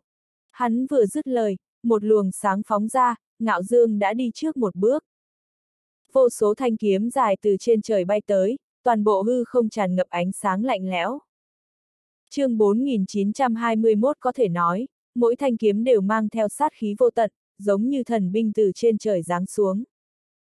Đây là phá thiên kiếm thuật của sư môn chúng tôi, đây mới chỉ là chiêu mở đầu thôi, không biết anh có dám tiếp chiêu này của tôi không? Ngạo Dương huynh hoang nhìn tiêu chính văn. Nghe vậy, mọi người đều vô cùng kinh ngạc. Chiêu thức đáng sợ này mới chỉ là chiêu mở đầu, nếu Ngạo Dương dùng hết sức để đấu thì kết cục sẽ như thế nào đây? Điền Văn lúc này không còn mặt mũi nào nữa, nghĩ đến cảnh mình bại dưới tay đối phương, hắn nào còn mặt mũi đi gặp ông bà tổ tiên nữa. Hắn là cậu chủ nước tề, là thiên tử tương lai, là người kế thừa nước tề. Chiêu thức này đã đánh bại rất nhiều cao thủ địa cầu các anh, còn không ít cậu chủ của các thế gia đều đã chết dưới chiêu thức này của tôi. Cho đến hôm nay, chưa từng có ai đấu lại nổi chiêu này của tôi, thật khiến tôi thất vọng. Vừa dứt lời, ngọa dương lại tấn công tiêu chính văn. Vô số kiếm khí giống như mặt trời trói lọi, bao phủ khắp mọi nơi, cả bầu trời đều bị bóng kiếm bao phủ. Kiếm khí đáng sợ xé nát trời đất, dường như vũ trụ cũng theo vết nứt đó rơi xuống. Nhưng lúc này, tiêu chính văn cũng bắt đầu di chuyển. Anh khẽ nâng cánh tay lên, bình tĩnh nói, trận pháp không gian này chỉ là hình thức khởi đầu cơ bản nhất, đệ tử Hoa Sơn ai cũng tinh thông trận pháp này. Dầm, vừa dứt lời, một tấm màn sáng bao phủ bầu trời, hoàng tuyền chảy xuống tạo thành một đạo kết giới vàng ngay trước mặt tiêu chính văn. Lúc này, trong nàm sáng có ngàn vạn khí tượng, tựa như ẩn chứa vô số thế thời, vô số vũ trụ, rộng lớn vô song. Ngay cả những ngôi sao trên bầu trời cũng bị bức màn ánh sáng hấp thụ. Xẹt, vô số bóng kiếm giống như tia chớp bắn về phía tiêu chính văn, nhưng không có ngoại lệ, tất cả đều bị bức màn ánh sáng vàng cản lại, sau đó phóng vào trong màn sáng rồi biến mất. Ngạo Dương thay đổi sắc mặt, bởi vì những bóng kiếm đó là thật, hơn nữa chúng còn có liên kết với thân thể của hắn. Nhưng lúc này, hắn lại hoàn toàn không thể cảm nhận được hàng trăm ngàn thanh kiếm kia. Chuyện này, sao có thể chứ? Trận pháp số một Hoa Sơn lại có thể dễ dàng phá vỡ kiếm trận của hắn sao? Mọi người đồng loạt nhìn tiêu chính văn với vẻ không tin nổi. Đặc biệt là người nước tề càng không dám tin vào mắt mình. Ngay cả hắc bá cũng hít sâu một hơi. Không ngờ một trận pháp đơn giản như vậy lại được tiêu chính văn vận dụng một cách điêu luyện. Cụ tổ nhà họ Trần khẽ thở dài. chương 4922 trận pháp này không chỉ đến từ Hoa Sơn, mà rất nhiều thế gia cổ ở vùng ngoài lãnh thổ cũng được kế thừa trận pháp không gian, chỉ đến khi người sáng lập Hoa Sơn dùng trận pháp này uy danh thiên hạ, thì nó mới nổi tiếng khắp mọi nơi. Dù vậy, trận pháp không gian này cũng chỉ là trận pháp cơ bản nhất mà thôi, thậm chí ngay cả gia tộc lớn như nhà họ Trần cũng không thèm luyện tập trận pháp này. Xem ra tên tiêu chính văn này cũng có chút bản lĩnh. Một thanh niên đứng bên cạnh cụ tổ nhà họ Trần bình luận. Tiêu chính văn quả thực là nhân vật khiến người ta bất ngờ. Cậu ta luôn có thể biến những thứ mục nát trở nên thần kỳ. Cụ tổ nhà họ Trần thản nhiên nói. Hừ, thực lực của hắn cũng chỉ khiến tôi khâm phục mà thôi. Người thanh niên kia nói với vẻ khinh thường. Trên bầu trời nước tề, ngạo dương định thần trở lại, khí tức khắp người lại biến đổi thêm lần nữa. Anh quả thực khiến tôi rất bất ngờ, có điều đó cũng chỉ là đòn mở đầu mà thôi. Vừa nói dứt lời, vô số tia sáng sắc lạnh lại xuất hiện bên cạnh người hắn, hàng loạt thanh kiếm nhỏ cực ngắn xuyên qua hư không, giống như rồng lớn lao thẳng về phía tiêu chính văn. Mặc dù nhìn thì có vẻ uy thế của chiêu thức này thua xa đòn mở đầu khi trước, thế nhưng lại âm thầm ẩn chứa sát khí. Cùng lúc ngạo dương ra tay, ngay cả không khí xung quanh cũng sắp sửa bị xé toang ra. Nhìn sang tiêu chính văn vẫn chắp tay đứng đó, căn bản chẳng buồn liếc nhìn ngạo dương lấy một lần. Khi kiếm trận của ngạo dương được thể hiện ra, đất trời cũng biến sắc theo, không trung thi thoảng còn truyền tới những tiếng vang ầm ầm. Hả, ngạo dương đang làm gì vậy, Hồng Ấn cũng phát giác ra điểm dị thường. Sức ép đủ để diệt thế đó quá đỗi bá đạo, ngay cả dạ ma thiên bên cạnh ông ta cũng khẽ nhíu mày theo. Ông ta chỉ bảo ngạo dương đả kích niềm tin của thế lực các phương ở vùng ngoài lãnh thổ mà thôi chứ chưa từng bảo hắn tiêu diệt cả vùng ngoài lãnh thổ. Mà người dân nước tề đang có mặt thì càng nhìn tới độ kinh sợ. Uy lực trong chiêu thức thứ hai của ngạo dương cuối cùng cũng bộc phát ra, giống như đất trời một phương này đều sẽ bị hủy diệt hoàn toàn chỉ trong giây tiếp theo. Thuật pháp này của tôi đủ để tiêu diệt cả một hành tinh chỉ trong khoảnh khắc. Để tôi xem anh chống đỡ kiểu gì, Ngạo Dương vừa nói vừa tung ra một đòn toàn lực. Nghe có vẻ rất lợi hại, có điều ở trong mắt tôi, thuật pháp của chư thiên thần giới cũng chỉ tới thế. Chỉ có thể coi là bề nổi mà thôi, tiêu chính văn bình thản cười nói. Cái gì? Mặt ngạo dương lập tức nhăn lại. Anh có biết nhát kiếm này của tôi đủ để hủy diệt cả đất trời, thậm chí ngay cả vùng ngoài lãnh thổ cũng sẽ bị ảnh hưởng hay không? Ngạo dương cực kỳ tự tin lên tiếng chương 4923 mặc dù hiện giờ hắn vẫn chẳng thể phát huy hoàn toàn uy lực của kiếm trận này, thế nhưng như vậy cũng đủ để ảnh hưởng tới đạo trời của cả vùng ngoài lãnh thổ. Thậm chí có thể khiến cho bốn mùa của vùng ngoài lãnh thổ bị đảo lộn, ngày đêm thất thường. Thế nhưng tiêu chính văn vẫn chưa ra tay, ngược lại còn quay người nói với đám đệ tử của Hoa Sơn, trận pháp thời không không phải cần tới bản thân có thực lực mạnh cỡ nào. Mấy người phải nhớ cho kỹ, Hai chữ thời không mới là nền tảng của loại trận pháp này, cũng có thể nói, chúng ta chỉ là một kẻ đứng giữa mà thôi, chỉ cần mở được cánh cổng không gian ra thì sẽ có thể hóa giải được tất cả thế công kích của đối phương. Tiêu chính văn vừa nói dứt lời, màn ánh sáng màu vàng đó lại bừng lên rực rỡ. Chỉ trong nháy mắt, phạm vi hàng chục nghìn dặm xung quanh đều bị ánh sáng màu vàng bao trùm lấy. Mà nhát kiếm toàn lực của ngạo dương lại chém thẳng lên trên màn ánh sáng, sau đó vẫn là một đi không trở lại, không có bất cứ động tĩnh gì nữa. Nhìn thấy cảnh tượng này, cả người ngạo dương đều cảm thấy không ổn. Phải biết rằng ban nãy tiêu chính văn đứng quay lưng lại với hắn, thậm chí ngay cả nhìn hắn lấy một lần cũng chẳng thiết tha. Mà màn ánh sáng màu vàng đó lại trực tiếp hấp thu đòn đánh mạnh nhất của hắn vào bên trong. Phía sau màn ánh sáng đó giống như có một cái động không đáy, cho dù hắn có tấn công tiêu chính văn với đòn đánh mạnh cỡ nào thì đều sẽ bị màn ánh sáng đó thôn tính chẳng còn lại gì. Lẽ nào trận pháp của địa cầu thật sự mạnh như vậy sao? Trong lòng ngạo dương chấn động cực mạnh, kinh ngạc lùi ra sau nửa bước. Đây là lần đầu tiên hắn cảm thấy khiếp sợ kể từ lúc khiêu chiến với một loạt cao thủ ở vùng ngoài lãnh thổ. Thế nào, tất cả chiêu thức của anh cũng chỉ tới thế mà thôi nhỉ? Trận pháp không gian đơn giản như vậy đã có thể khiến cho anh đành chịu bó tay rồi. Chói, tiêu chính văn vừa nói vừa quay người rời đi, một chữ chói thốt ra khỏi miệng, tất cả mọi người đều hoàn toàn ngẩn ra. Bởi vì đây là pháp môn cơ bản nhất bên trong trận pháp trói buộc, cũng có thể nói, lấy trận pháp không gian hình thành nên một vòng bao vây rồi nhốt chặt đối phương bên trong vòng bao vây đó. Thế nhưng, trận pháp đơn giản như vậy thật sự có tác dụng đối với cao thủ như Ngạo Dương sao? Đừng nói là những người đang có mặt không tin, ngay cả hắc bá lúc này cũng lắc đầu không thôi. Ngạo dương có thế nào thì cũng không thể bị trận pháp đơn giản như vậy trói buộc, và lại chư thiên thần giới người ta cũng tu luyện trận pháp. Đây giống như dùng phép toán một cộng một bằng mấy để hỏi một sinh viên đại học vậy. Ngay cả bản thân ngạo dương cũng ôm ý nghĩ y như vậy, cười lạnh lùng nhìn về phía tiêu chính văn. Với cảnh giới hiện giờ của hắn, đừng nói là trận pháp trói buộc, dù là đại trận khốn tiên thì cũng chẳng đáng nhắc tới ở trước mặt hắn.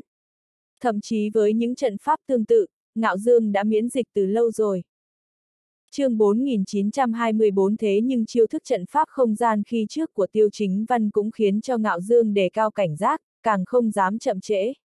Một giây sau, khí thức của Ngạo Dương đột nhiên dâng cao hơn vài bậc, thế nhưng cùng lúc này, một ánh hào quang màu vàng đột nhiên bao trùm xuống, đổ ập lên trên người hắn. Ngạo Dương không khỏi khẽ nhíu mày. Hử, thấy trên người mình giống như đang khoác một chiếc áo mang tia chớp, Ngạo Dương cũng hơi ngẩn ra. Tiêu chính văn đang định làm gì vậy? Dựa vào cái trò mèo này mà cũng dám múa dìu qua mắt thợ ở trước mặt hắn sao? Thế nhưng vào lúc Ngạo Dương định thoát ra thì một lực hút hết sức mạnh mẽ ấn định cả người Ngạo Dương ở nguyên vị trí cũ. Cả người từ trên xuống dưới giống như bị dâu của bạch tuộc hút chặt lấy, dù chỉ cử động cánh tay cũng là điều không tưởng. Không để cho ngạo dương kinh hô thành tiếng, lực hút đó lại tăng thêm mấy phần sức mạnh, ngay cả làn da trên người hắn cũng truyền tới từng trận đau đớn. Chuyện này, chuyện này không thể nào. Ngạo Dương không thể ngờ được bản thân lại bị trận pháp đơn giản như thế trói buộc lại. Đây không phải trận pháp, rõ ràng chính là thuật, không để cho Ngạo Dương nói xong, Tiêu Chính Văn đã lạnh lùng ngắt lời, đây là kim quang thúc phọc trận. Chỉ là một kiểu mở rộng của trận pháp không gian mà thôi. Lúc này, xung quanh tĩnh lặng tới độ có thể nghe thấy cả tiếng kim rơi, tất cả mọi người đều nhìn tới độ ngơ ngẩn. Đó là ngạo dương đấy, vậy mà lại bị trận pháp cơ bản nhất của tiêu chính văn trói buộc ư. Vừa mới ban nãy, ngạo dương đã liên tiếp giết chết vài người, hơn nữa còn đánh bại cậu chủ điền văn chỉ trong vòng một chiêu. Hắn là sự tồn tại mạnh tới độ nào, vậy mà lại bị tiêu chính văn dễ dàng trói buộc.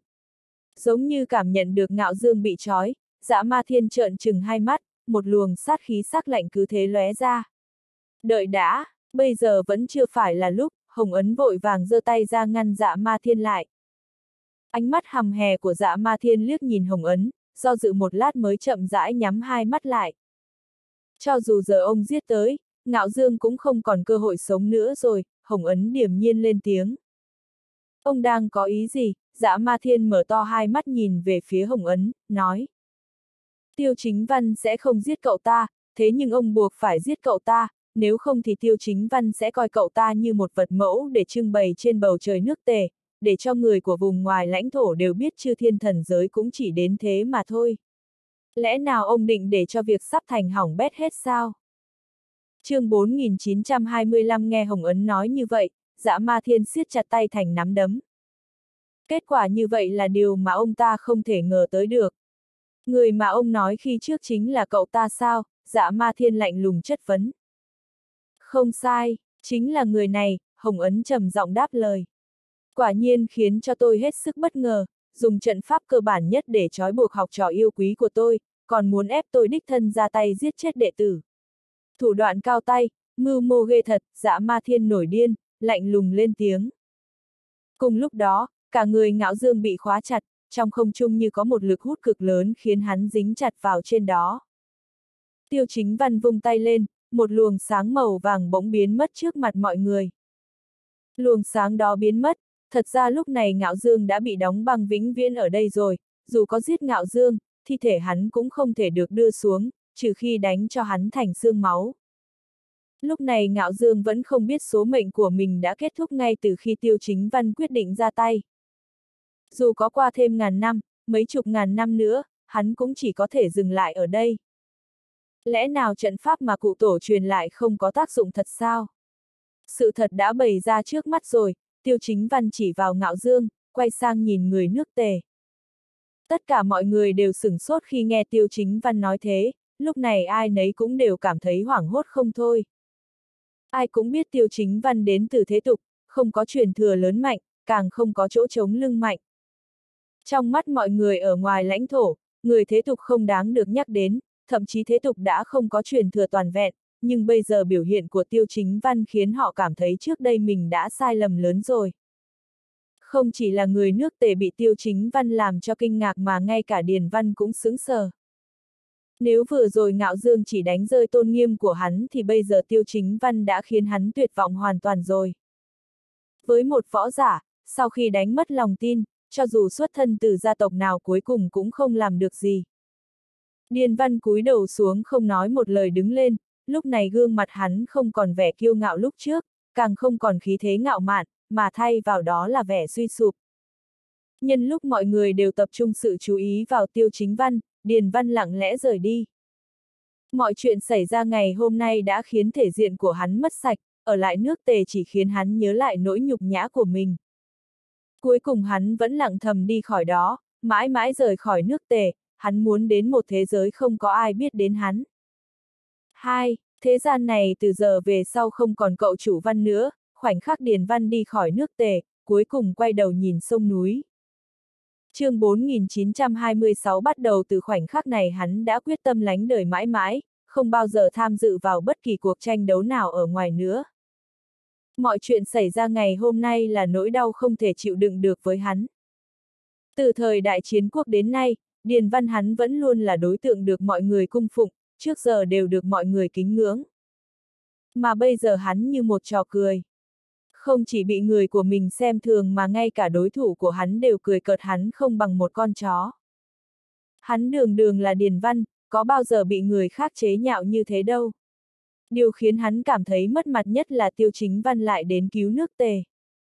Cho dù xét về thực lực hay cảnh giới, mình đều không bằng tiêu chính văn, hắn có thể nhịn được điều này, dù sao thì hàng ngàn năm chỉ có một sự tồn tại như tiêu chính văn. Nhưng thân là một trong bốn cậu chủ chiến quốc, ngay cả lòng dạ và khí phách cũng bị đối phương đè ép, bảo con dân nước tề ủng hộ, yêu mến hắn thế nào nữa. Thế nên dù hắn luyến tiếc núi sông nước tề và địa vị người thừa kế của mình thế nào, cũng chỉ đành nhịn đau từ bỏ. Sau khi tiêu chính văn đi, rất nhiều người đều chủ động nhiệt tình tiễn, vì hôm nay tiêu chính văn đã cứu cả nước tề. Trận chiến này không chỉ làm tăng thêm uy phong của tiêu chính văn mà càng tỏ rõ thái độ của nước tề. Cái chết của Khương Thiên Vũ và Thiên Hà đạo quân bị thương nặng đều đang làm khí khái của nước tề tỏa sáng. Các thế lực khác đều im lặng không lên tiếng, dĩ nhiên là không muốn trở mặt với chư thiên thần giới, thậm chí ngồi nhìn nước tề bị chư thiên thần giới đe dọa, bị chèn ép, cũng không một ai dám đứng ra vì nước tề. Nhưng chỉ có tiêu chính văn giơ tay ra giúp đỡ, đây cũng là nguyên nhân chủ yếu người nước tề yêu mến tiêu chính văn. Nếu hôm nay không có cậu tiêu độ lượng ra tay giúp thật không dám tưởng tượng nước tề sẽ như thế nào. Hừ, bốn cậu chủ chiến quốc gì chứ, tôi thấy còn chẳng sánh được một ngón chân của tiêu chính văn. Điền văn là một tên hèn, người như hắn không xứng dẫn dắt nước tề chúng ta. Rất nhiều người cũng đã tỉnh ngộ cũng vô tình chế nhạo Điền văn. Nếu nước tề đã trở thành nơi không chủ, tôi nghĩ chỉ bằng chúng ta đến đế khư đi. Đúng thế, bây giờ người có thể đánh lại chư thiên thần giới cũng chỉ có cậu tiêu thôi, thù của ông Khương không thể không trả. Nói cũng đúng, nếu ngồi nhìn tiền bối Khương chết mà chúng ta lại không thể trả thù cho ông ấy, chỉ sẽ khiến các đệ tử trong môn xem thường. Chỉ riêng việc hôm nay tiêu chính văn trưởng nghĩa giúp đỡ, tôi cũng sẵn lòng dẫn theo các đệ tử quy phục điện thần long. Nói hay lắm, thà chết vinh còn hơn sống nhục. chương 4927 chỉ trong chốc lát, không ít người đều đáp lời tình nguyện quy phục điện thần long. Hơn nữa người đến xem trận chiến hôm nay không ít, không chỉ là người nước tề định gia nhập vào điện thần long, thậm chí ngay cả người của thánh giáo đình cũng bắt đầu có ý phản nghịch. Thánh giáo đình không chỉ bị ngạo dương sỉ nhục mà mấy ngàn năm nay họ đều như một con chó rụt cổ khi ở trước mặt võ giả Hoa Quốc, cảm giác bị người khác xem thường như vậy là đủ rồi. Lúc này cũng chỉ có quy phục điện thần long mới có thể làm cho họ đứng lên làm người. Thoáng chốc, trước cửa đế khư đã đông nghịt người, vô số trưởng môn của các tông môn và người nắm quyền gia tộc đều dẫn tông môn và gia tộc mình đến. Thậm chí có vài người không có tông môn, cũng tự phát xếp thành hàng dài ồn ào muốn gia nhập Điện Thần Long. Mặt khác, không ít người dân nước tề và tai mắt của các gia tộc lớn cũng ở lại, họ muốn xem thử rốt cuộc ngạo dương sẽ bị đóng chặt ở trong không trung bao lâu. Lúc này ngạo dương bị treo trên cao triển lãm giữa không trung, để mặc người dân nước tề vây quanh bàn luận như một thứ khác loài. Cho đến đêm hôm đó, ngạo dương vẫn không thể thoát ra được. Chuyện này lập tức chấn động cả đông vực. Một mặt là tình hình hiện giờ vô cùng căng thẳng, mặt khác chư thiên thần giới vừa phá vỡ kết giới vũ trụ, đang trong lúc hoảng loạn, ngạo dương lại liên tiếp đánh bại vài cao thủ. Nhưng lúc này lại bị tiêu chính văn đưa lên không trung làm vật mẫu, triển lãm ở giữa không trung nước tề, việc lớn như vậy có muốn giấu cũng không được.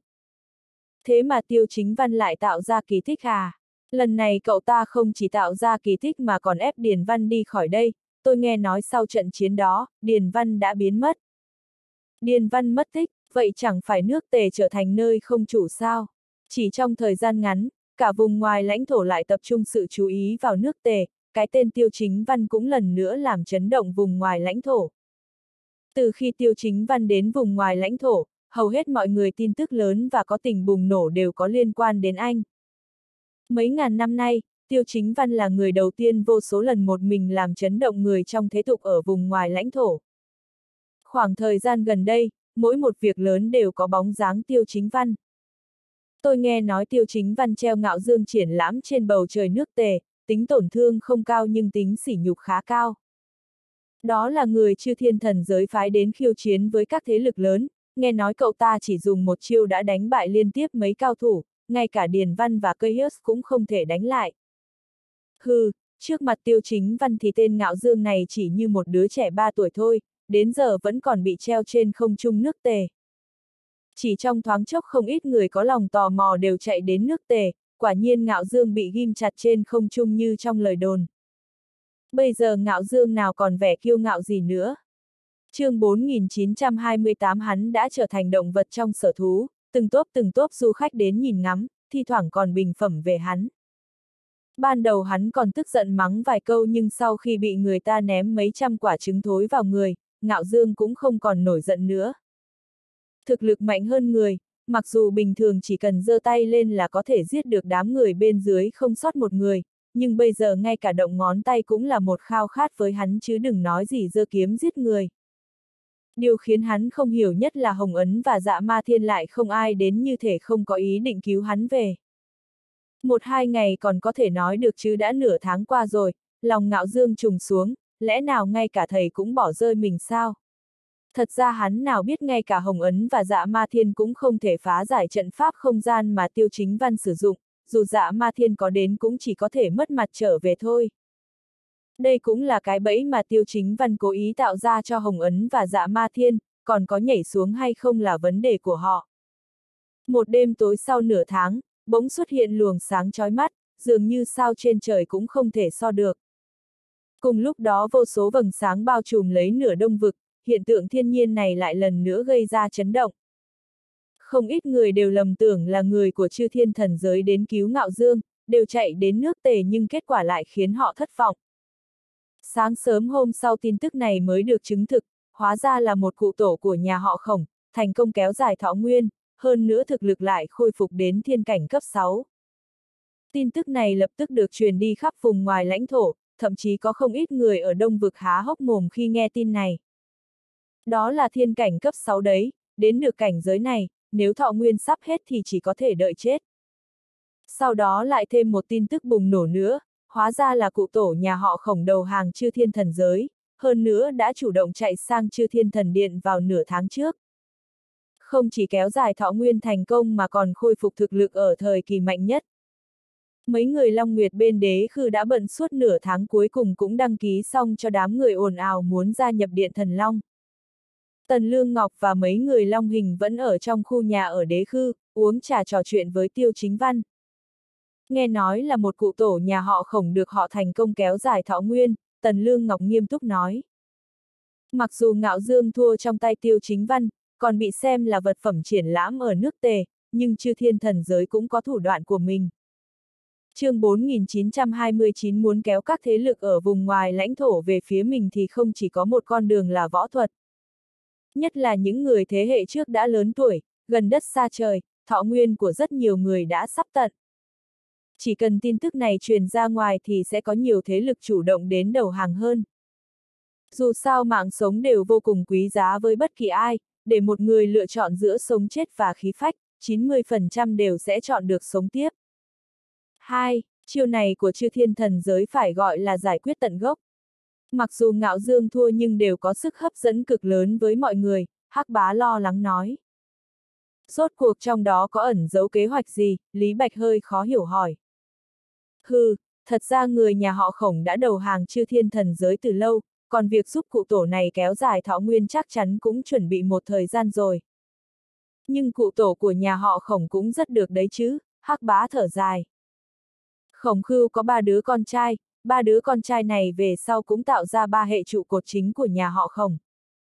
Người được chư thiên thần giới kéo dài thọ nguyên chính là cháu cố đời thứ tư của khổng khưu, xét về vai vế, địa vị còn trên cả hắc bá. Dù sao khổng khưu cũng ra đời vào những năm xuân thu, hắc bá sinh vào thời chiến quốc, hai người cách nhau mấy trăm năm. Quan trọng nhất là cụ tổ này của nhà họ khổng đã đạt đến cảnh giới thiên cảnh cấp 6, hay tức là đỉnh cao của ngụy tiên. Chỉ cần tiến thêm một bước nữa đã có thể đạt đến cảnh giới chân tiên.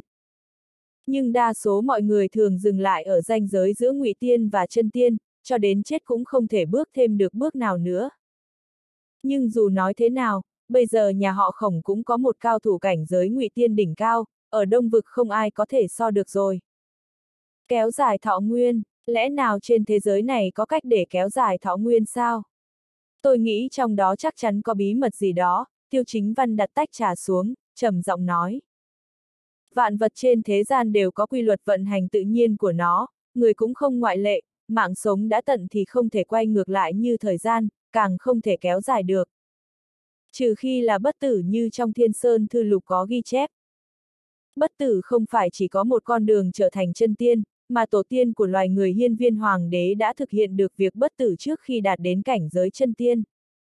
Thế nên rất nhiều đại tài cùng thời với hoàng đế đều có được thuật bất tử, nhưng từ sau khi hoàng đế thăng thiên, thuật bất tử này đã thất truyền. Cũng chính từ khoảng thời gian này, thọ nguyên của con người ngày càng ngắn, cho đến hiện đại, thọ nguyên trung bình của con người chỉ có mấy chục năm ngắn ngủi. Tiêu chính văn cũng đang nghi ngờ thuật bất tử được hoàng đế truyền lại năm đó có phải bị người của chư thiên thần giới học lén không? Chương 4930 như thế chư thiên thần giới mới ngày càng lớn mạnh trong hàng chục năm, còn địa cầu thì lại ngày càng yếu đi. Nếu sự thật là thế thì bí mật trận chiến giữa chư thiên cảnh giới và vùng ngoài lãnh thổ cũng rất có thể sẽ bị lật ra. Sự suy đoán của tiêu chính văn khiến mọi người đều sửng sốt. Dù là hắc bá hay tần lương ngọc cũng đều cảm thấy ngạc nhiên với suy luận của tiêu chính văn. Nói đến trận chiến này thật là đúng như cậu tiêu nói, lúc đầu chư thiên thần giới không phải là đối thủ của chúng ta. Nhất là lúc đế tuấn vẫn còn sống, mặc dù chư thiên thần giới cũng đánh vào kết giới vũ trụ nhưng lại bị thần giới do đế tuấn đứng đầu đánh tan tác. Nhưng sau khi đế tuấn chết, hình như chư thiên thần giới bỗng có thực lực mạnh hơn, các thế lực vùng ngoài lãnh thổ đều không phải là đối thủ, Hắc bá nói. Nghĩ kỹ lại, kể từ thời hoàng đế, chỉ có nhà họ Trần luôn có quan hệ với vùng ngoài lãnh thổ hay chư thiên thần giới. Mặc dù nhà họ Trần bắt đầu từ đời Trần Khánh nổi lên trong giới thế tục và vùng ngoài lãnh thổ, nhưng không thể xác minh được nhà họ Trần đã ẩn náu ở trong giới thế tục bao lâu. Tôi nghĩ nhà họ Trần đáng nghi nhất trong chuyện này. Hắc bá khẽ nhíu mày nói. Nhà họ Trần, tiêu chính văn quay đầu nhìn về phía hắc bá, thật ra tiêu chính văn cũng nghĩ đến nhà họ Trần đầu tiên. Đúng vậy, có lẽ nhà họ Trần đã làm lộ thuật bất tử truyền lại từ hoàng đế. Tình hình lúc này cực kỳ nguy cấp đối với chúng ta. Có lẽ chúng ta còn chưa kịp điều tra ra chân tướng thì chư thiên thần giới đã chinh phục được vùng ngoài lãnh thổ rồi. Hắc bá lo lắng nói. Chỉ cần tin tức cụ tổ nhà họ khổng thành công sống tiếp truyền ra ngoài thì vô số lão quái vật sẽ lập tức đến quy phục chư thiên thần điện. Trường sinh bất tử là ước mơ của mỗi người, nhất là sau khi đạt đến tầm cao, bọn họ sẽ càng hiểu cuộc sống quý giá như thế nào. Những lời nói dối về luân hồi kia chỉ để đánh lừa bọn trẻ con, đến cấp bậc thiên cảnh hoặc cao hơn thì sẽ giác ngộ tất cả. Trong cái gọi là luân hồi không thể có chuyển thế, mà là vòng luân chuyển giữa sự sống và cái chết, nhưng trong một sinh mệnh, chỉ được sống một lần mà thôi. Chư thiên thần giới đưa ra thuật bất tử, rất có thể sẽ thu phục được rất nhiều thế hệ lớn tuổi ở vùng ngoài lãnh thổ, đến lúc đó, bọn họ sẽ trở thành những con chó của chư thiên thần giới, lật mặt trở thành kẻ thù của vùng ngoài lãnh thổ. Dù sao không phải ai cũng có chí khí chẳng tiếc hy sinh, trên đời này cũng chỉ có một Khương Thiên Vũ, đồng thời cũng chỉ có một tiêu chính văn mà thôi. Còn rất nhiều người vẫn lựa chọn tham sống sợ chết. chương 4931 đó là lý do vì sao những lão quái vật kia muốn ở ẩn, không phải vì bọn họ không quan tâm đến danh vọng tiền tài, mà là vì muốn kéo dài tuổi thọ càng lâu càng tốt. Chỉ cần còn sống thì mọi thứ đều có thể. Quả nhiên như hắc bá dự đoán, vào ngày tin tức được truyền ra ngoài, rất nhiều lão quái vật có cảnh giới ngụy tiên đỉnh cao đã chủ động đến chư thiên thần điện. Các thế lực không hẹn mà cùng đến chư thiên thần giới, trong mắt họ, nếu cụ tổ nhà họ không có thể bất tử, thì bọn họ cũng có khả năng. Cùng lúc đó, cả vùng ngoài lãnh thổ đều đang bàn luận về vấn đề này, dù sao trường sinh bất tử cũng chỉ là truyền thuyết. Bọn họ chỉ hận mình không được sinh ra vào thời hoàng đế hiên viên, nhưng bây giờ, bọn họ đã nhìn thấy hy vọng mới. Hoàng đế đã không còn nữa, nhưng bây giờ người của chư thiên thần giới cũng có thể giúp bọn họ đạt được trường sinh bất tử. Đây là sự cám dỗ chết người. Lão quái vật của các thế lực lần lượt xuống núi, bỗng chốc gây ra một làn sóng dữ dội ở vùng ngoài lãnh thổ. Những người này đều là ngụy tiên đỉnh cao, hàng ngàn năm qua, vùng ngoài lãnh thổ chưa từng xuất hiện cảnh tượng hoành tráng như vậy, hàng trăm hàng ngàn ngụy tiên đỉnh cao cùng lúc xuất thế, thậm chí trời đất ở vùng ngoài lãnh thổ cũng không thể chịu được sự trấn áp mạnh mẽ như vậy. Những nhân vật như vậy lần lượt xuất hiện càng khiến những thế lực không có người chống lưng cảm thấy bất an. Không phải thế lực nào cũng có nhân vật lớn, giống như một số tông môn và thế gia nhỏ đừng bao giờ mơ tới ngụy tiên, bọn họ lấy đâu ra một vị ngụy tiên thiên cảnh cấp 4 bảo vệ đây. Mà đây cũng chỉ là cấp bậc thấp nhất của ngụy tiên. Còn những lão quái vật trở lại kia đều là đại năng thiên cảnh cấp 6. Nghe nói cụ tổ nhà họ khổng chính là tổ tiên thứ 18 của khổng tề thiên, hơn nữa cụ ta vừa trở về đã quét sạch các tông môn lớn ở thành thiên khu và thành thiên khởi rồi. Hàng chục môn phái ở hai thành lớn đều bị tàn sát trong một ngày, tin tức này lại một lần nữa khiến cả vùng ngoài lãnh thổ chấn động. Đây rõ ràng là đang tỏ thái độ với vùng ngoài lãnh thổ, hơn nữa việc giết các tông môn chiến đấu chính có nghĩa là nhà họ khổng đã hoàn toàn rơi vào tay chư thiên thần giới. Trước đó, mặc dù nhà họ khổng cũng từng chấn áp các thế lực ở vùng ngoài lãnh thổ, nhưng chưa từng tàn sát các tông môn một cách công khai. Tin tức này khiến người ta không thể chấp nhận được, đó là người thừa kế của khổng thánh tiên sư, vậy mà bây giờ lại dùng cách đẫm máu này để chấn áp những kẻ phản kháng. Xem ra mọi chuyện thật sự đã phát triển như tôi lo lắng, nếu nhà họ khổng đã mở đầu thì những tông môn khác sẽ không dám lên tiếng chống lại chư thiên thần giới nữa. Hắc bá thở dài nói. Tôi thật sự không hiểu tại sao khổng thánh tiên sư lại có thể có một hậu duệ như vậy. chương 4932 chẳng trách trong thiên hạ đã có lời đồn đại rằng nhà họ khổng muôn đời đều xin đầu hàng, bây giờ chư thiên thần giới vừa đột phá kết giới vũ trụ, nhà họ khổng đã quy phục chư thiên thần giới. Hừ, nhà họ khổng không coi chúng ta là con người. Hơn nữa, ngàn năm qua, nếu không có sự ủng hộ của chúng ta thì nhà họ khổng có được tiếng nói như ngày hôm nay sao? Không ít người ở vùng ngoài lãnh thổ lên tiếng chất vấn. Người đứng sau tung những tin đồn này chính là thiên đạo minh ước. Mặc dù thiên đạo minh ước chưa nói rõ lập trường của mình, nhưng thiên đạo minh ước luôn coi vùng ngoài lãnh thổ như sân sau của mình, sao có thể để người khác cướp mất. Nhà họ khổng trước đây chỉ là một con chó trung thành của thiên đạo minh ước, bây giờ con chó này không chỉ phản chủ, mà còn muốn cướp vị trí chủ nhân, điều này đã vượt quá giới hạn. Vì vậy, thiên đạo minh ước mới ngấm ngầm tung tin đồn thất thiệt, trước tiên là bôi nhỏ thanh danh của nhà họ khổng, sau đó nhân cơ hội đánh nhà họ khổng trở lại nguyên hình. Hừ, cho dù nhà họ khổng không ra tay thì người khác cũng sẽ ra tay, vì trường sinh bất tử là ước mơ của tất cả mọi người. Cuộc đời mỗi người chỉ được sống một lần, để có thể sống tiếp, ai còn quan tâm đến mạng sống của người khác. Không ít trưởng lão cùng thời đại với Khương Thiên Vũ cũng bắt đầu thở dài. Mặc dù bọn họ sẽ không bao giờ cúi đầu trước chư thiên thần giới, nhưng trong lòng họ vẫn luôn khao khát cuộc sống vĩnh hằng.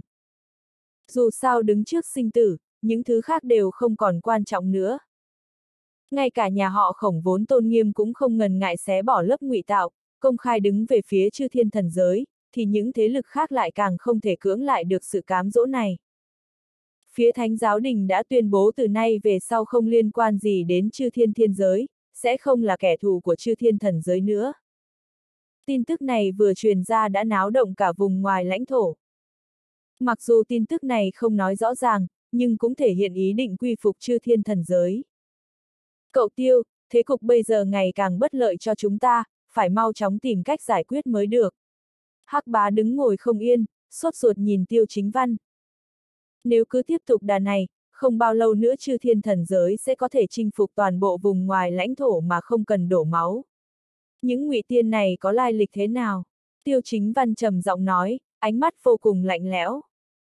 Suy cho cùng chỉ cần những người này không làm quá đáng, hoặc không đụng đến giới hạn của tiêu chính văn, tiêu chính văn vẫn không muốn ra tay tàn ác với họ. Nhưng tình hình bây giờ đã không cho phép tiêu chính văn nhân từ nữa, dù sao sau khi vùng ngoài lãnh thổ bị thu phục, chư thiên thần giới chắc chắn sẽ tấn công vào giới thế tục. Nhưng hiện giờ mấy người này đều đứng về phía chư thiên thần giới, cũng tốt hơn nhiều so với việc đột ngột trở mặt lúc chư thiên thần giới và thế tục khai chiến. chương 4933 kẻ địch ngoài mặt ít nhất sẽ không đâm mình một nhát sau lưng, kẻ địch trong âm thầm mới là kẻ khó đối phó nhất. Ngay cả tôi cũng không rõ nội tình của đám người này, thật ra trong số họ đa số đều là người ở thời kỳ Xuân Thu, ngay cả tôi gặp được cũng phải gọi đối phương một tiếng tiền bối, hắc bá bất lực nói. Đừng thấy hắc bá là người nhà họ doanh, cũng là quản lý cấp cao của vùng ngoài lãnh thổ mà lầm, những người vượt xa thời đại của ông ta, ông ta cũng khó tiếp xúc nữa chứ huống gì biết rõ nội tình bên trong. Nhất là đám người đó đã đạt đến cảnh giới ngụy tiên đỉnh cao rồi, dù là hắc bá cũng phải cung kính khi ở trước mặt đối phương. Cậu Tiêu, bên ngoài có người muốn gặp, đúng lúc này Lý Bạch Sải bước đi vào nói với Tiêu Chính Văn. Ông ta luôn canh gác ở cửa núi của đế khư, trước đó có một ông lão bỗng đến ngoài của đế khư, hơn nữa vừa nhìn thấy ông lão này, Lý Bạch cảm thấy có gì đó không ổn. Hay nói cách khác ngay cả Lý Bạch cũng cảm nhận được cảm giác bức bách với khí thức của đối phương, chứng tỏ thân phận của đối phương không tầm thường. Tải app OLA để đọc tiếp, chúng mình sẽ tập trung lên tải app nhé. Thậm chí thực lực của người này không yếu hơn Elon. Cho ông ta vào, tiêu chính văn gật đầu nói. Không lâu sau Lý Bạch dẫn một ông lão đi vào sảnh lớn. Tiêu chính văn lập tức nhìn ông lão, đây là một ông lão râu tóc bạc phơ, dạ yếu lọng khỏm, bước đi còn hơi không vững, tay còn chống cây gậy đầu rồng. Ánh mắt tiêu chính văn lóe lên tia sáng, mặc dù ông lão trước mặt đã lớn tuổi, gần như đã đánh mất sinh khí nhưng tử khí quanh người ông ta lại vô cùng mạnh. Nói cách khác lúc này ông lão hệt như một người chết. Nhưng đôi mắt ông ta lại sáng bừng, ánh mắt rất sắc bén, hơn nữa cảm giác bức bách khiến người khác dùng mình lại càng rõ rệt. Ông lão cũng chậm rãi ngẩng đầu lên nhìn tiêu chính văn ở vị trí chính giữa. Sau đó liên tục gật đầu rồi hài lòng cười với tiêu chính văn. Ông cụ, cho hỏi ông là, từ huy tổ bên cạnh lên tiếng. Mọi người đều nhìn ra ông lão này không hề tầm thường, không chừng còn là một nhân vật tầm cỡ có danh tiếng lừng lẫy. Hai, đã từng này tuổi rồi họ tên là gì không còn quan trọng nữa, nhưng trong các người cũng có người đã từng nghe nói đến tên của tôi. Ông lão mỉm cười nói. Tôi họ Vương, tên Hử, có vài người thích gọi tôi là ông quỷ cốc, không biết các người đã từng nghe nói chưa, quỷ cốc tử bình thản nói. Ông ta vừa nói thế, những người ngồi đó đều đồng loạt đứng lên, nhất là viên thiên canh đứng lên chắp tay chào quỷ cốc tử. Tông sư quỷ cốc, tôi viên thiên canh xin chào tổ sư, nói rồi viên thiên canh cúi người bái. Với thuật sĩ, nhất là những người như viên thiên canh đều xem quỷ cốc tử là tổ sư, tương truyền năm đó những tính toán chiêm tinh của quỷ cốc tử đều rất chính xác. chương 4934 ông ta tính được hơn 100 năm sau, Đại Tần sẽ hợp nhất 6 nước nên mới bảo đệ tử của mình là Trương Nghị, Tô Cầm, Tôn Tân, Bàng Quyên và Úy Liêu giúp nước Tần thống nhất thiên hạ. Sau đó sự thật chứng minh tính toán của quỷ cốc tử đều chính xác, từ đó về sau các đại sư dịch học đều tự nhận là đệ tử của quỷ cốc. Thế nên viên thiên canh mới cực kỳ kính trọng quỷ cốc tử. Kính chào tiên sư, ngay cả hắc bá cũng cung kính đứng lên chắp tay chào quỷ cốc tử. Dù sao không có quỷ cốc tử cũng không có việc đại tần hợp nhất sáu nước, thống nhất thiên hạ. Hơn nữa các đời nhà họ doanh cũng đều coi quỷ cốc tử là quốc sư nên nhìn thấy quỷ cốc tử, hắc bá cũng phải cung kính đối đãi. Còn mấy người tần lương ngọc dĩ nhiên không cần phải nói, đều đứng lên chào đón.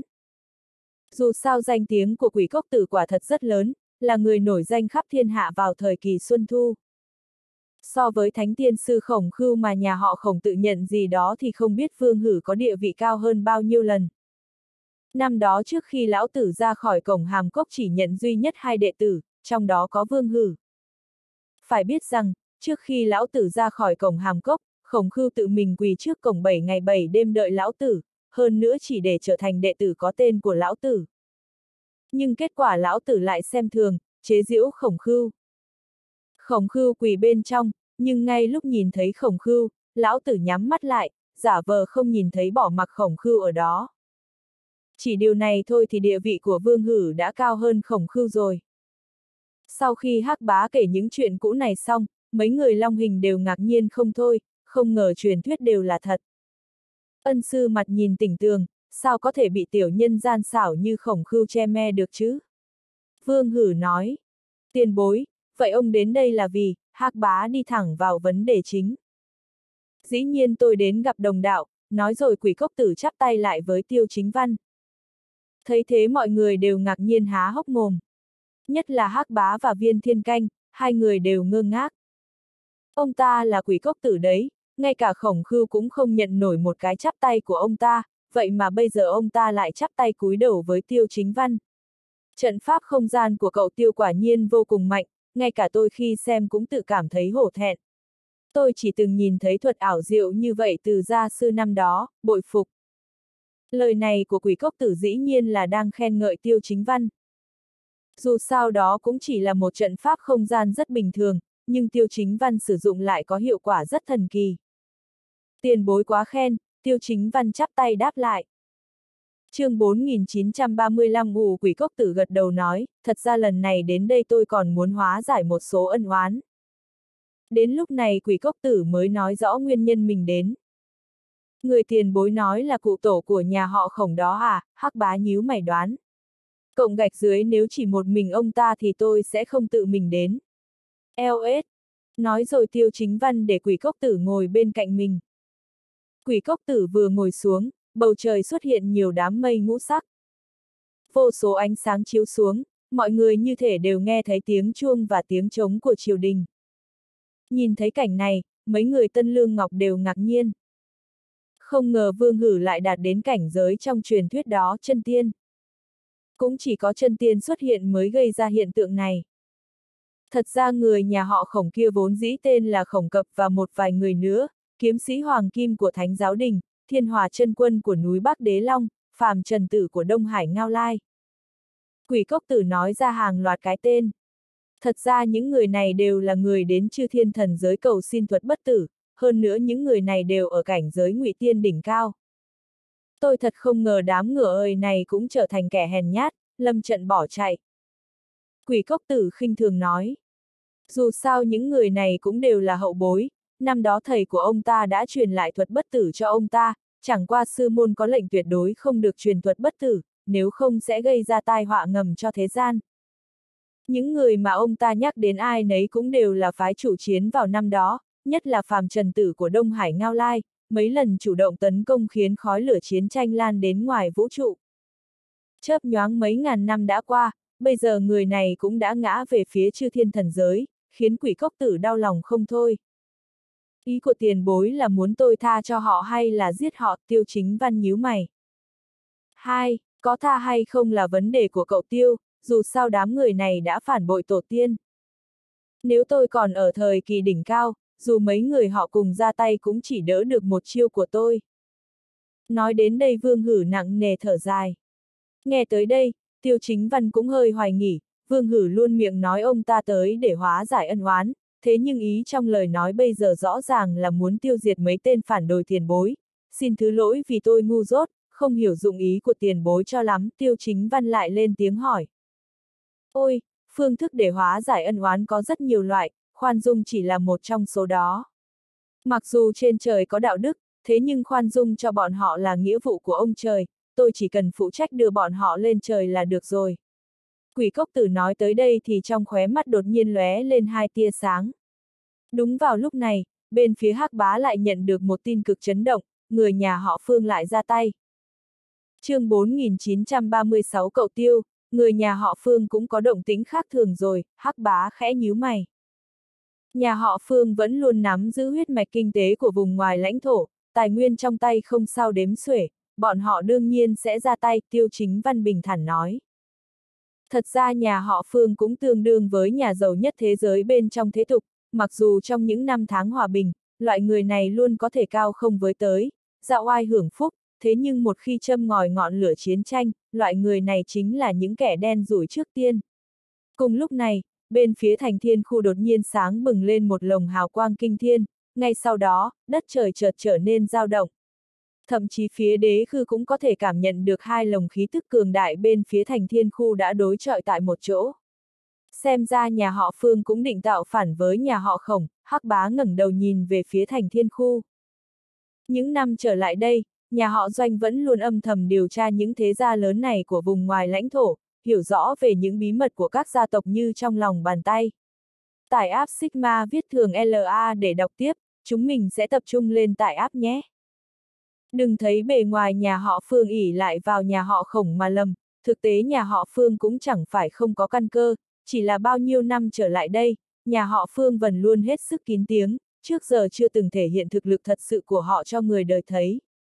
Nói kỹ ra thì nhân vật lớn phía sau lưng nhà họ Phương không hề kém cạnh nhà họ Khổng, chỉ là chưa tới mức bần cùng thì chiến thần sau lưng nhà họ Phương kia tuyệt đối sẽ không tùy tiện ra gạch dưới tay. Cụ tổ của nhà họ Khổng Khổng cập đích thân ra tay rồi, Hắc Bá vừa nói dứt lời, một luồng hào quang ngũ sắc liền dâng lên từ phía khu nhà nhà họ Khổng và lao thẳng về phía thành thiên khôn ngay tức thì, ánh sao ngập trời, ánh sáng sắc lạnh tràn lan từ phía, kiếm ảnh bao trùm khắp cả khoảng trời thành thiên khu như một bức màn. Hàng chục nghìn năm qua, đây mới là lần đầu tiên đám người của Đông Vực được trông thấy cao thủ ở cảnh giới nguy tiên đỉnh cao ra tay, cỗ khí tức long trời lở đất này khiến cho trái tim của mỗi người đều được bao trùm bởi một màn xương u ám.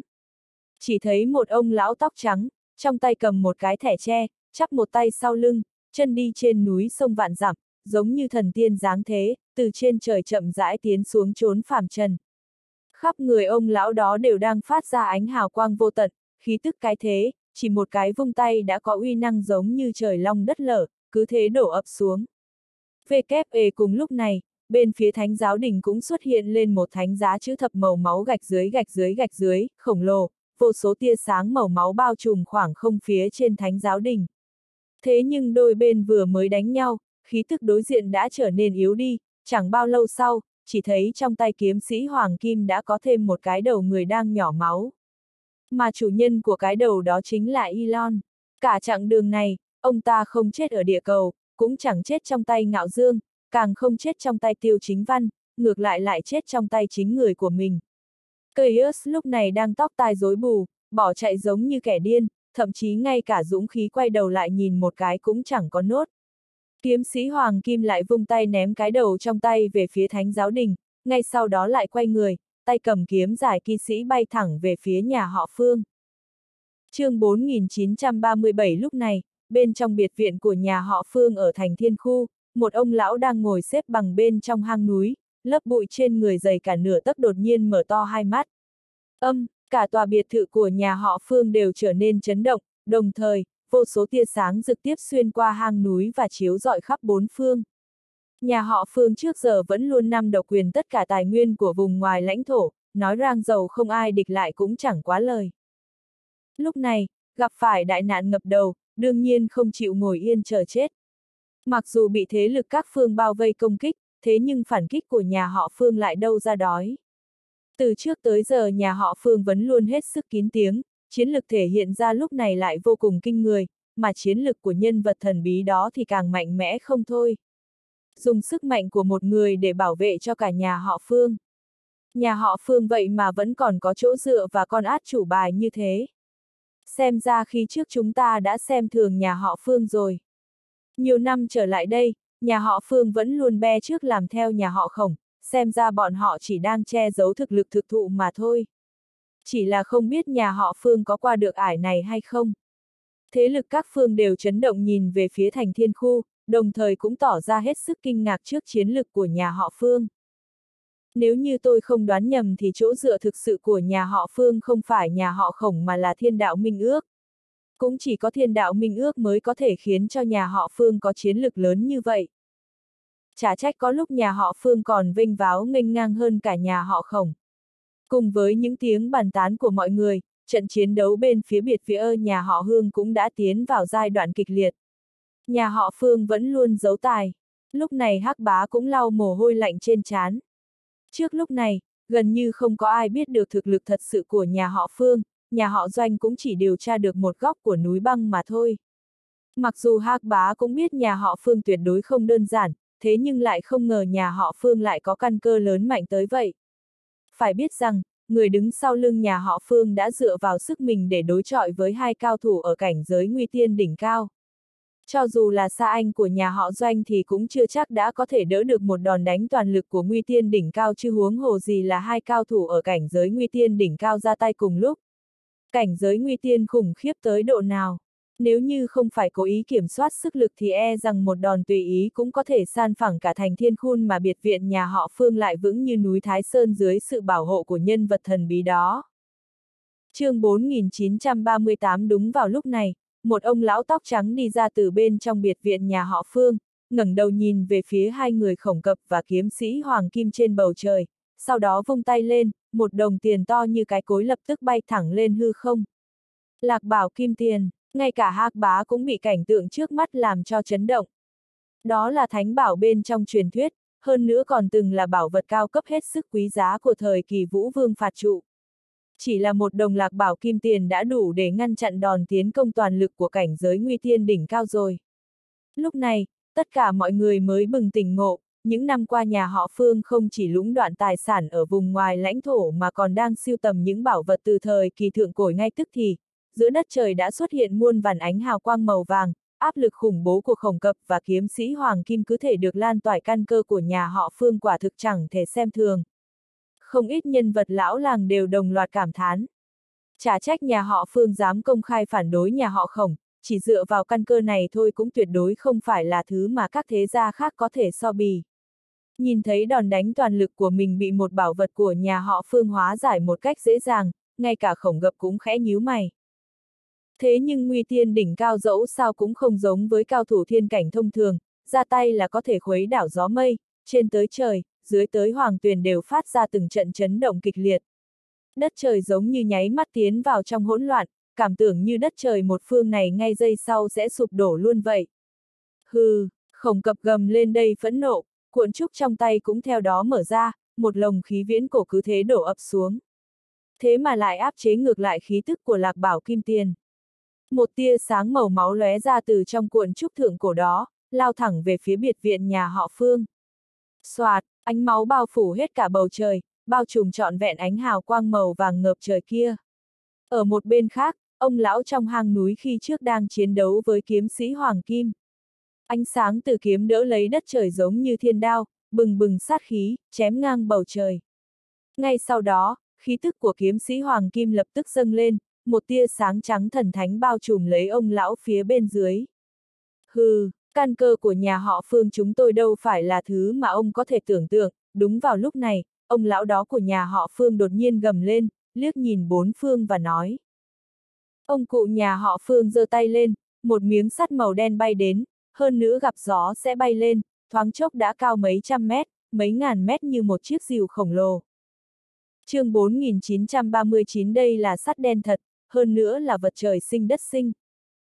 Nghe nói miếng sắt đen này là vật được để lại khi bàn cổ khai thiên năm đó, bởi vì miếng sắt đen này nên thế gian mới có đồng và sắt. Người đời sau gọi là sắt mẹ. Nhà họ phương thế mà tìm được miếng sắt mẹ, chẳng phải sau khi bàn gỗ khai thiên thì sắt mẹ đã tan vào đất rồi sao? Sao lại xuất hiện trong ai nhà họ phương? Nghe nói trên đời này có tất cả 10 miếng, trong đó có hai miếng rơi vào âm phủ hoàng tuyền, còn 8 miếng được phân bố ở khắp nơi trên thế giới, ngoài lãnh thổ cũng có 3 miếng. Nói đến đây, trong mắt không ít những người thế hệ trước đều hiện lên vẻ sợ hãi. Sắt mẹ không phải là sắt đem thông thường, dù là đại tài cảnh giới chân tiên khi bị nó đánh trúng, cảnh giới cũng sẽ giảm xuống rất nhanh. Còn ngụy tiên thì không thể chịu được một cú đánh của sắt mẹ. Nhà họ Phương lại có bảo vật như vậy, đó là vật khai thiên của bàn cổ đó, sắc mặt hắc bá trắng bệch nói. Lai lịch của nhà họ Phương không chỉ có thế, họ mới là người đại diện của thiên đạo minh ước. Hơn nữa những bảo vật như vậy trừ khi là thiên đạo minh ước, người khác sao có thể tìm được. Vương Hử bình tĩnh giải thích. Tương truyền sắt mẹ là sắt đen rơi từ trên chiếc rìu khai thiên cực lớn của bàn gỗ, uy lực vô tận nhưng cũng không phải là thứ mà ai cũng có thể phát huy được uy lực của nó. Một mặt là thực lực và cảnh giới phải đạt đến độ cao nhất định, mặt khác được đạo cảnh hỗ trợ, không có ánh sáng đạo cảnh, có cảnh giới thì cũng không thể làm cho sát mẹ phát huy được uy lực vốn có. Chỉ tiếc là người nhà họ Phương có đạo cảnh quá thấp, không thể phát huy được uy lực của sắt mẹ, nếu không chỉ một đòn tấn công này cũng đã chém chết khổng cập. Vương Hử lại thở dài nói, tải áp Sigma viết thường LA để đọc tiếp, chúng mình sẽ tập trung lên tải áp nhé. Thật ra thần vương mà người đời sau nói chẳng qua chỉ là hậu duệ của bàn cổ thôi, ngay cả long tộc cũng là do bàn gỗ tạo ra, mọi thứ trong vũ trụ đều có liên quan đến bàn gỗ. Mà sắt mẹ là vật lưu lạc trên chiếc rìu khổng lồ của bàn cổ, có thể nói đều có sức chấn áp chí mạng với tất cả sinh linh trong vũ trụ. Khác với sự chấn áp huyết mạch của Hoa Quốc với loài người mà là một loại chấn áp bẩm sinh. Nhưng bất kỳ vật gì cũng phải có người tương thích sử dụng nó mới có thể phát huy hiệu quả vốn có của nó nên đây là nỗi thương tâm của nhà họ Phương.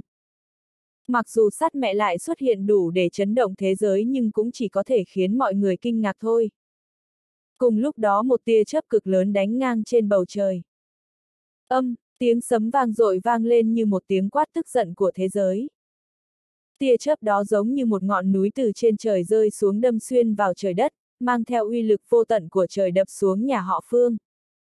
chương 4940 dầm, sắt mẹ vừa rồi vẫn còn bay trong không trung bị tia chớp đó đánh trúng, lập tức mờ nhạt dần, sau đó trở thành một miếng nhỏ băng bàn tay, bay về phía ông lão tóc bạc của nhà họ Phương. Sau khi trận thiên lôi qua đi, một ông lão mặc đồ xanh vung phất trần trong tay rồi chậm rãi bước ra từ khỏi bầu trời. Phàm trần tử của Đông Hải ngao lai ra tay rồi. Uy lực vô song đó và tia chớp như ngọn núi kia thoáng chốc đã khiến uy lực của vô số bảo vật của nhà họ Phương bị giảm xuống. Phàm trần tử của Đông Hải ngao lai này không đơn giản, nghe nói ông ta từng gặp được hiên viên hoàng đế, cụ thể sống đến bao nhiêu tuổi thì tôi cũng không đoán được. Vương hử cao mày, lo lắng nói. Có thể nói ông ta và Phạm Trần Tử là người cùng thời kỳ nhưng thời đại đó mọi người đều quá bí ẩn, Vương Hử không tra ra được lai lịch của người khác cũng giống như người khác không thể đoán được lai lịch của Vương Hử. Những năm thời kỳ xa xưa, đằng sau mỗi người đều có một trống lưng cực lớn mạnh, cho nên ai nấy cũng đều không hề tầm thường. Nghe nói Phạm Trần Tử từng là lôi bộ thiên quân, từng giúp trụ vương đánh lại Chu Vương thất, thậm chí còn giết chết mấy đại tài dưới trướng của Chu Võ Vương. Chẳng qua sau khi trụ vương bại trận đã ẩn cư nơi khác, bấy giờ mới thoát khỏi sự trả thù của Chu Võ Vương. Lúc này sau khi Phạm Trần Tử ra tay, tình hình trận chiến cũng xoay chuyển. Ngay cả ông lão tóc bạc nhà họ Phương cũng thay đổi sắc mặt. Sao sao đều cùng là ngụy tiên đỉnh cao, thực lực của Phạm Trần Tử rõ ràng cao hơn khổng cập mấy cấp bậc. Ngay khi nhà họ Phương rơi vào thế yếu, hướng nhà chính nhà họ Trần bỗng phát ra ánh sáng, lại thêm một cao thủ cảnh giới ngụy tiên đỉnh cao. Là Trần Phong thiên tài đứng đầu của nhà họ Trần ra tay, sắc mặt hắc bá thay đổi. Không, đó là Trần Ngạo, chỉ xếp sau Trần Phong ở nhà họ Trần, Vương Hử nhìn về hướng nhà họ Trần, lạnh lùng nói. Nhà họ Trần có hai thiên tài, một là Trần Phong, người còn lại là Trần Ngạo cũng bị tuyết chôn vùi ngàn hàng năm. Nghe nói Trần Ngạo vừa ra đời, bầu trời xuất hiện hình con rồng, còn bản thân Trần Ngạo lại mang dòng máu của Long tộc. Đừng nói là nhà họ Trần, ngay cả vùng ngoài lãnh thổ, người có tài năng bẩm sinh như vậy cũng cực kỳ hiếm. Hơn nữa năm vừa 8 tuổi, ông ta chỉ một tay đã đánh bại được cao thủ cảnh giới đế quân, suýt nữa đã gây ra một trận đẫm máu ở vùng ngoài lãnh thổ. Thế nên với nhà họ Trần, Trần Huy Tổ không đáng được nhắc đến. Bây giờ Trần Ngạo bồng ra tay, hơn nữa uy thế còn kinh thiên động địa như thế, điều khiến người khác chật lưỡi là ông ta vẫn chưa đến ngàn tuổi đã có sức mạnh ngụy tiên, năng lực này dù là nhiều người thế hệ trước cũng không theo kịp. chương 4941 Trần Ngạo ra tay cũng đại diện cho lập trường của nhà họ Trần, có thể nói hiện giờ nhà họ Phương đã rơi vào nguy hiểm. Chỉ mấy người phàm Trần Tử đã khiến nhà họ Phương không đỡ nổi, nhà họ Trần bỗng ra tay chắc chắn đã trở thành cọng rơm cuối cùng đè ép họ. Ông lão tóc bạc nhà họ Phương thấy tình thế không ổn bèn bước lên luồng sáng chạy về phía đế khư. Chạy đi đâu, Trần Ngạo vung kiếm lên, kiếm khí ngút trời đánh về phía ông lão đổ đen. Tiêu chính văn, sắt mẹ đó tặng cậu. Ông lão tóc bạc nhà họ Phương bỗng hét lên, sau đó vung tay lên ném miếng sắt mẹ chỉ lớn bằng bàn tay về phía đế khư. Rõ ràng ông lão đó biết rõ lúc này cách duy nhất có thể bảo vệ mạng sống là ném thứ đồ này. Cho đế khư, huyền ngoài tiêu chính văn ra, khó mà tìm được người thứ hai có thể đánh lại ba cao thủ kết hợp.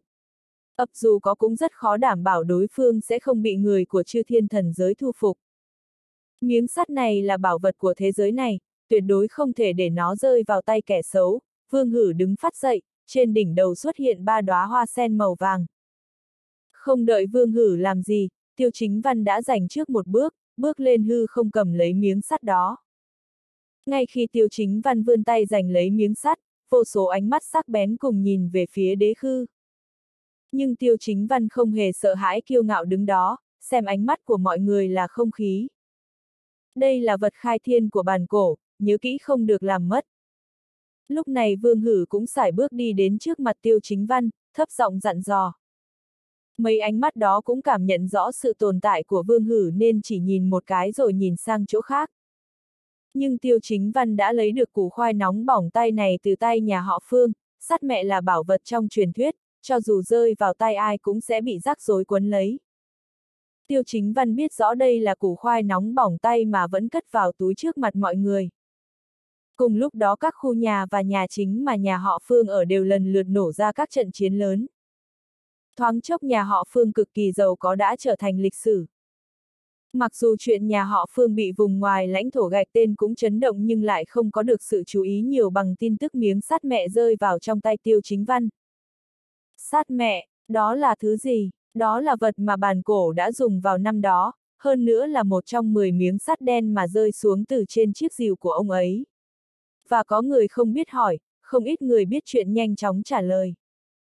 Trước đó sắt mẹ cũng từng xuất hiện, quốc vương Hạ Triều năm đó từng có được nó nên mới có thể thống trị Hoa Quốc trong mấy ngàn năm. Để che giấu sự tồn tại của sắt mẹ, cả lịch sử Hạ Triều đều bị thu gọn lại chỉ còn mấy trăm năm, tất cả nội dung liên quan đến sát mẹ đều có người cố ý không cho vào trong sách sử. chương 4942 lẽ nào thứ mà Tiêu Chính Văn nhận được từ trong tay nhà họ Phương chính là miếng sắt mẹ dẫn đến việc Hạ Triều bị diệt vong đó. Mặc dù không biết có phải là cùng một miếng hay không nhưng 10 miếng sắt mẹ sẽ khác nhau, hình dáng cũng khác biệt. Một số có thể trở thành kiếm, một số là rìu, còn một số là đao. Nghe nói miếng sắt năm đó của Hạ Triều là chiếc rìu khổng lồ. Lúc này có không ít người biết bí mật này nên đã nói thẳng sự huyền diệu trong đó. Bởi vì có 10 miếng sắt này, thế gian mới có 10 loại binh khí đầu tiên.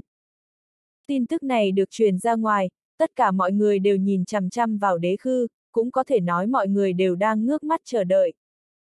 Nếu chư thiên thần giới để mọi người do nhà họ khổng dẫn đầu công khai ra tay với nhà họ Phương thì không thể nào chỉ nhắm vào một nhà họ Phương nhỏ bé, đáng sau đó chắc chắn có mưu đồ lớn hơn. Mục tiêu chính rất có thể chính là miếng sắt mẹ trong tay nhà họ Phương.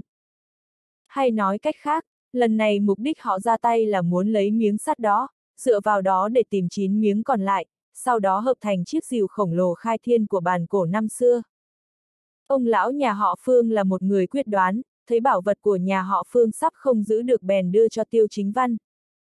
Thật ra ông ta cũng cố ý ném tai họa này cho đế khư, nhưng dù sao đây cũng là bảo vật thế gian, hơn nữa cuối cùng tiêu chính văn vẫn nhận lấy nó từ trong tay ông ta. E là sau này đế khư sẽ không còn bình yên nữa. Có vài người vẫn luôn do dự không biết có nên gia nhập vào Điện Thần Long hay không thì lúc này cũng đành rút lui, từ bỏ ý định. Dù sao cách làm của tiêu chính văn đồng nghĩa với việc đứng đối lập với chư thiên thần giới, càng chọc phải các thế lực lớn của vùng ngoài lãnh thổ. Tải app OLA để đọc tiếp, chúng mình sẽ tập trung lên tải app nhé.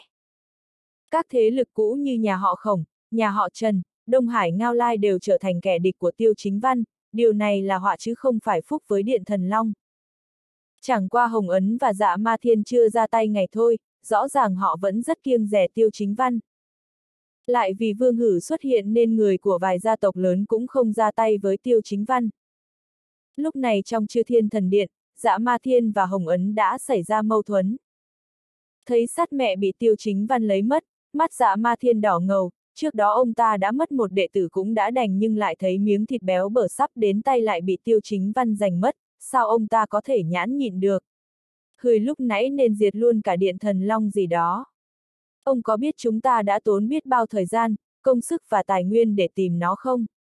Thấy sắp đến tay rồi mà lại bị tiêu chính văn chiếm hời, ông có thể nhịn nhưng tôi thì không, Hai mắt dạ ma thiên đỏ ngầu, tức giận, nếu đối phương không phải là Hồng Ấn thì ông ta đã đánh đối phương luôn rồi. Ý ông ta là nếu tiêu chính văn đã muốn làm thế thì cứ dứt khoát nhổ sạch mầm mống đi. Nhưng ông ta muốn ra tay mấy lần rồi lại bị Hồng Ấn ngăn lại.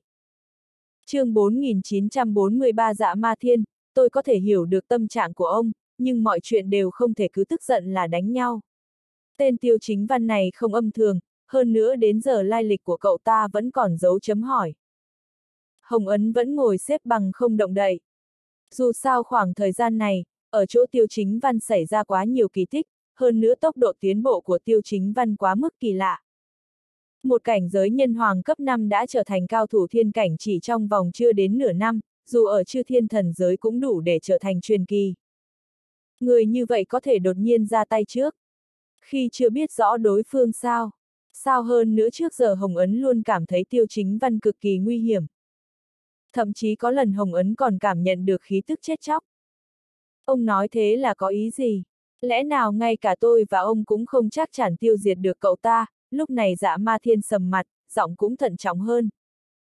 Nhưng so với Hồng Ấn, dạ ma thiên vẫn không xem tiêu chính văn là đối thủ, dù sao từ khi ông ta xuất thế vẫn chưa gặp kẻ địch xứng tầm, những tin đồn về tiêu chính văn cũng chỉ là nghe Hồng Ấn nói thôi.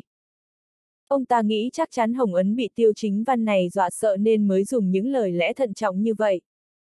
Thử nghĩ mà xem ai có thể trở thành thiên cảnh, thậm chí là cảnh giới ngụy tiên từ cảnh giới nhân hoàng cấp 5 trong vòng nửa năm. Có nằm mơ cũng không có chuyện tốt như vậy. Chuyện này vẫn nên thận trọng hơn, một bước sai thì mọi bước đều sai, chúng ta lên kế hoạch nhiều năm khó khăn lắm mới có được ngày hôm nay, một khi đi nhầm một bước thì sẽ thua cả ván cờ. Hồng Ấn vẫn kiên định nói. Lễ nào cứ trơ mắt nhìn sát mẹ rơi vào tay tiêu chính văn ư, dạ ma thiên nổi giận rồi. Chư thiên thần giới đã điều tra hàng chục ngàn năm nên biết rõ tường tận bí mật về sát mẹ hơn người vùng ngoài lãnh thổ. Mặc dù sau khi bàn gỗ khai thiên, 10 miếng xe đó đều lần lượt rơi ở khắp nơi trên địa cầu, nhưng 10 miếng sắt cũng có sự liên kết nào đó. Chỉ cần lấy được một trong số đó thì sau này nhất định sẽ tìm được 9 miếng còn lại. Sau khi tập hợp đủ 10 miếng thì có thể dung hợp chúng lại.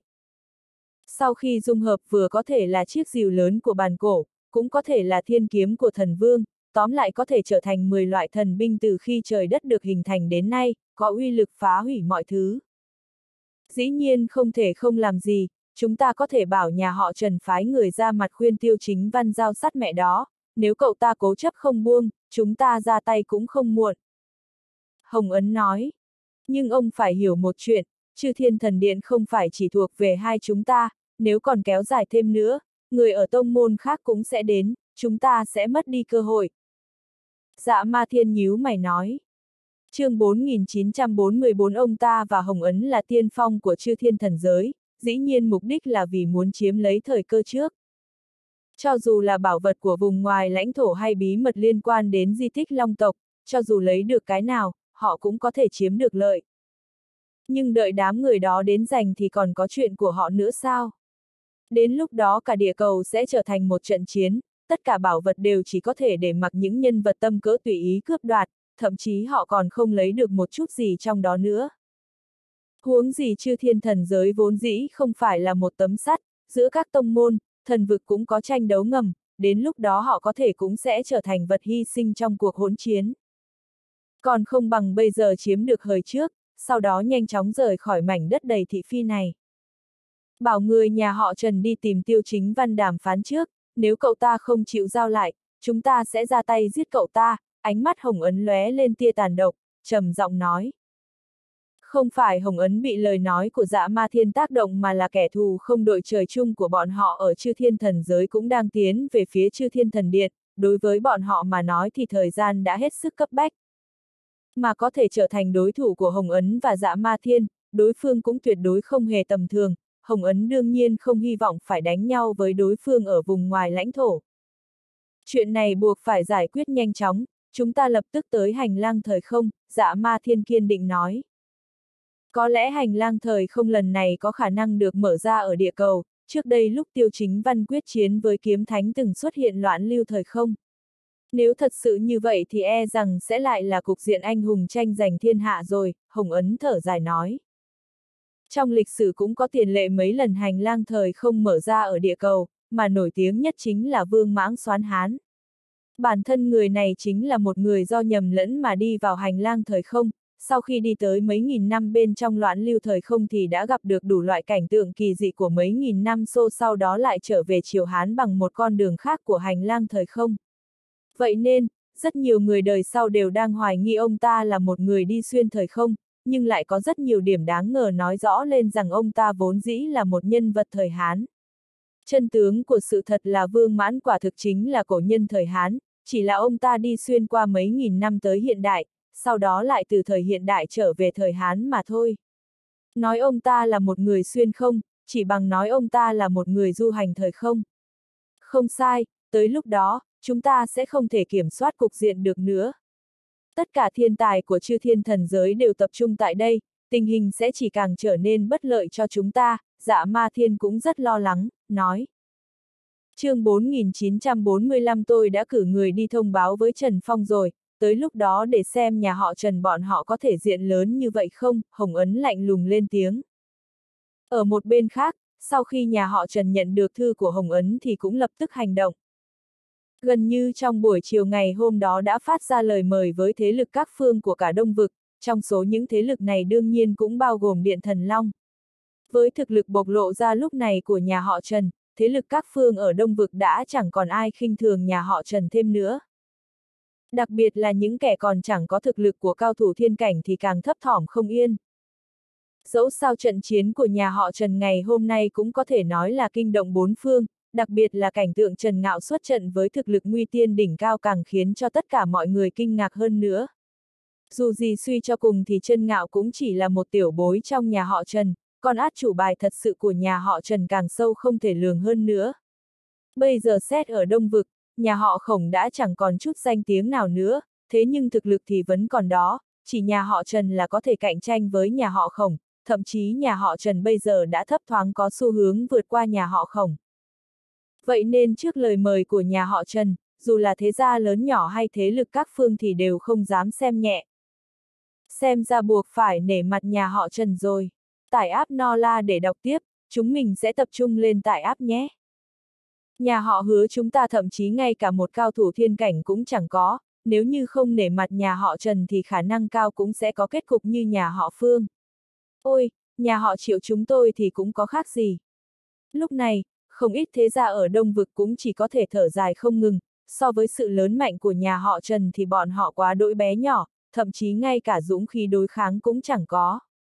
Những thế lực có mối quan hệ tốt với tiêu chính văn lúc này cũng đang hết sức bất ổn, dẫu sao vận mệnh của bọn họ cũng đã bị trói lại cùng một chỗ với Điện Thần Long, mặc dù tạm thời vẫn chưa công khai gia nhập Điện Thần Long, thế nhưng mọi người cũng coi như một cộng đồng lợi ý trồ chúng ta có cần cử người qua đó không? Lúc này, bên trong Nguy Vương Cung, Long cổ xoay đầu nhìn về phía Nguy Vinh Kỳ, hỏi.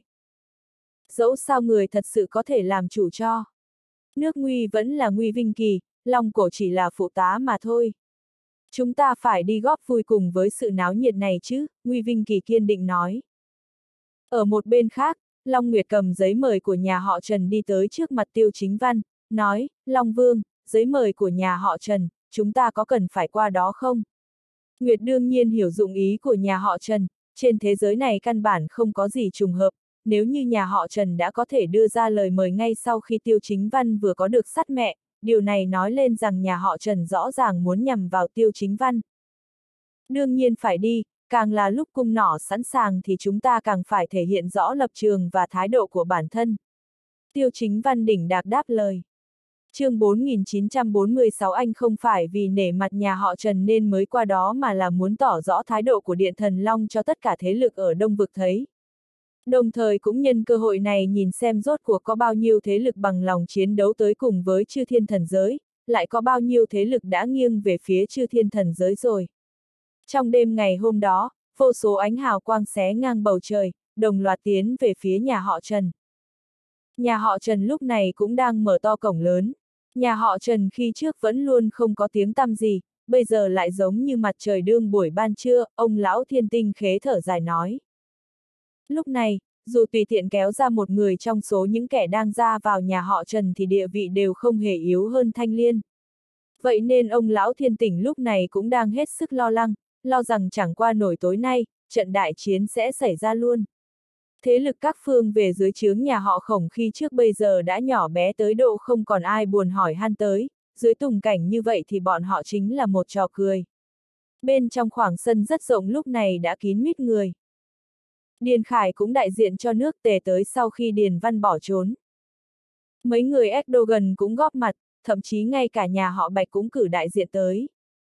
Có thể nói danh tiếng của nhà họ Trần ở vùng ngoài lãnh thổ bây giờ đã tới được độ cao trước nay chưa từng có, ngay cả hoàng tộc và gia tộc của Bạch Khởi đều buộc phải nể mặt nhà họ Trần vài phần. Trong sân lúc này, những thế lực không có nền móng gì kia chỉ có thể đứng bên trong góc mà run rẩy, căn bản không dám ngẩng đầu nhìn lên. Những sự tồn tại ngày thường diễu võ dương oai tới nơi này cũng đều ngoan ngoãn đi không ít. Đúng vào lúc này, đột nhiên phía sau đám người truyền tới một trận hỗn loạn, ngay sau đó có một đoàn xe ngựa chậm rãi dừng lại. Một nam thanh niên nhảy xuống từ trên xe ngựa, toàn bộ những người đang có mặt đều đồng loạt tiến lên trước chào hỏi. Bái kiến thế tử Trần, bái kiến thế tử Trần. Trần Ngạo chỉ liếc mắt nhìn đám người với gương mặt vô cảm, trong mắt ngập tràn vẻ khinh thường. Ngay sau đó liền đi về phía đình nghỉ mát ở chính giữa sân dưới sự vây kín của mọi người. Cùng với sự xuất hiện của Trần Ngạo, không ít người đều đang thầm cảm nhận được áp lực kinh thiên, đồng thời cũng đồng loạt cúi đầu không dám đối diện với Trần Ngạo. Cũng chỉ có Nguy Vinh Kỳ là cười lạnh lùng nhìn về phía Trần Ngạo, từ đầu chí cuối hắn vẫn ngồi nguyên tại chỗ, thậm chí còn chẳng buồn chào hỏi. Trần Ngạo tiến lên trên bục đã dựng sẵn phía trước đình nghỉ mát, lên tiếng nói với mọi người, tôi nghĩ rằng cho dù tôi không nói thì mọi người cũng đã thấy được rất rõ cục diện trước mắt rồi chương 4947 hôm nay, nhà họ Trần chúng tôi mời mọi người tới cũng chính là vì muốn nhân cơ hội này tỏ rõ thái độ với mọi người. Trần Ngạo vừa nói ra lời này, sắc mặt của tất cả những người đang có mặt đều chợt biến đổi. Đặc biệt là những thế lực nhỏ không có chỗ dựa lúc này rõ ràng đều đang lo lắng bất an. Mọi người cũng không cần phải vội vàng tỏ rõ thái độ, nhà họ Trần chúng tôi sẽ không làm khó người khác, đương nhiên sẽ cho mọi người thời gian suy xét.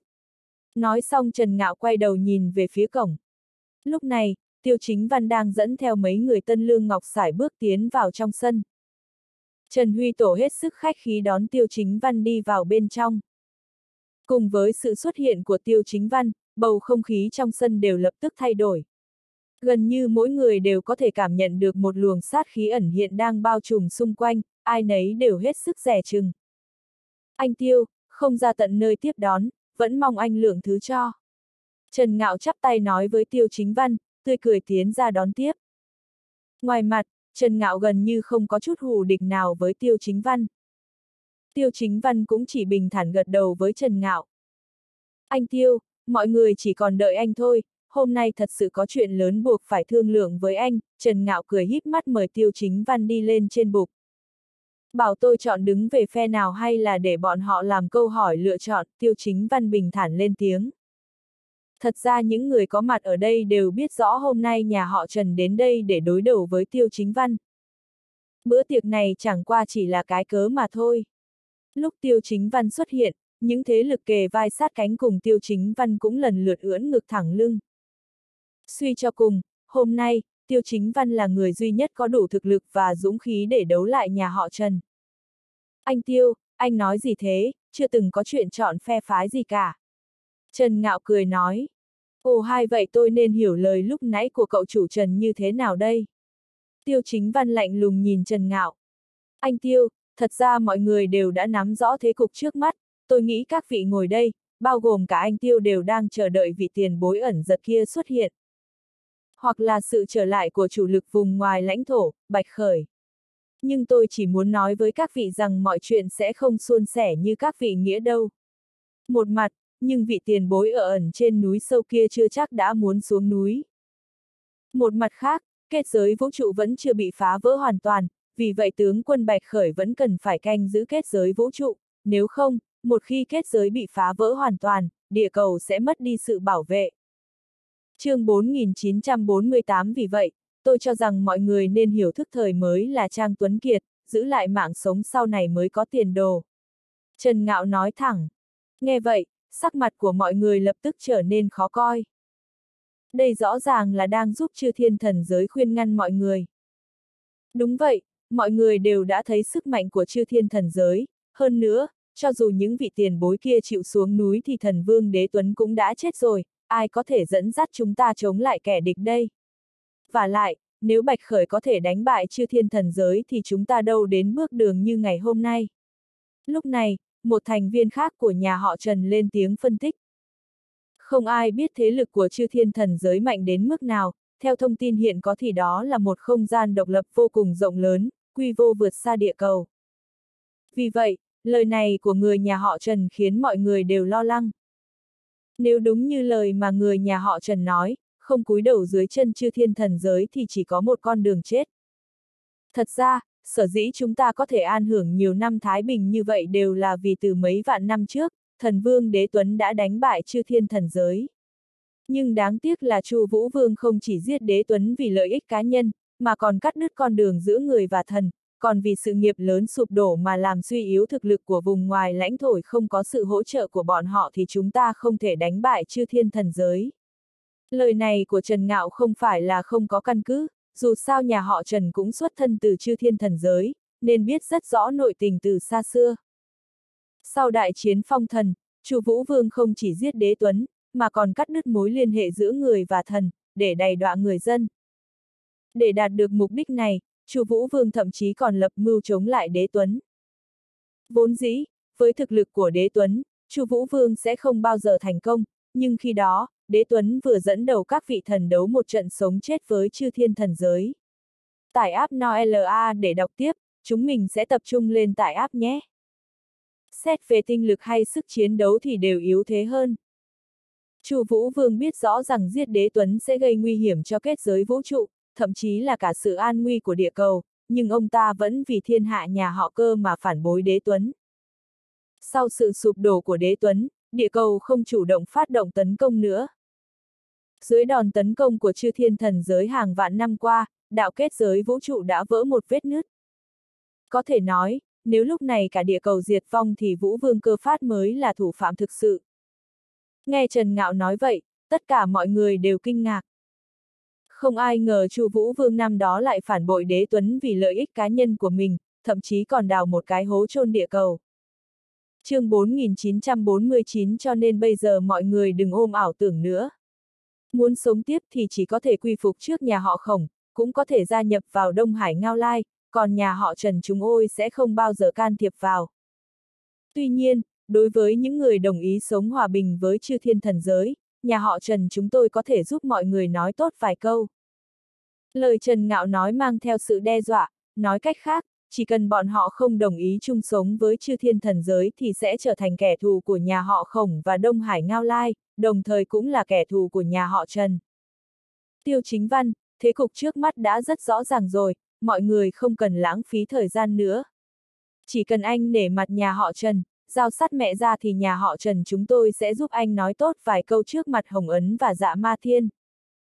Hơn nữa báu vật đó giữ lại trong tay anh cũng thật lãng phí, chẳng thể phát huy được hết vai trò của nó, không bằng giao cho Hồng Ấn Thượng Tôn, để nó phát huy được tối đa giá trị.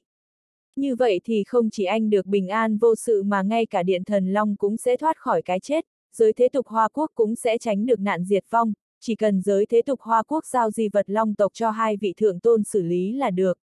Nhỉ, Trần Ngạo thẳng thắn nói. Thực ra, theo ý của cụ tổ nhà họ Trần, lời này của Trần Ngạo uyển chuyển hơn, nhưng đối với Trần Ngạo, tiêu chính văn chỉ là một con kiến mà thôi.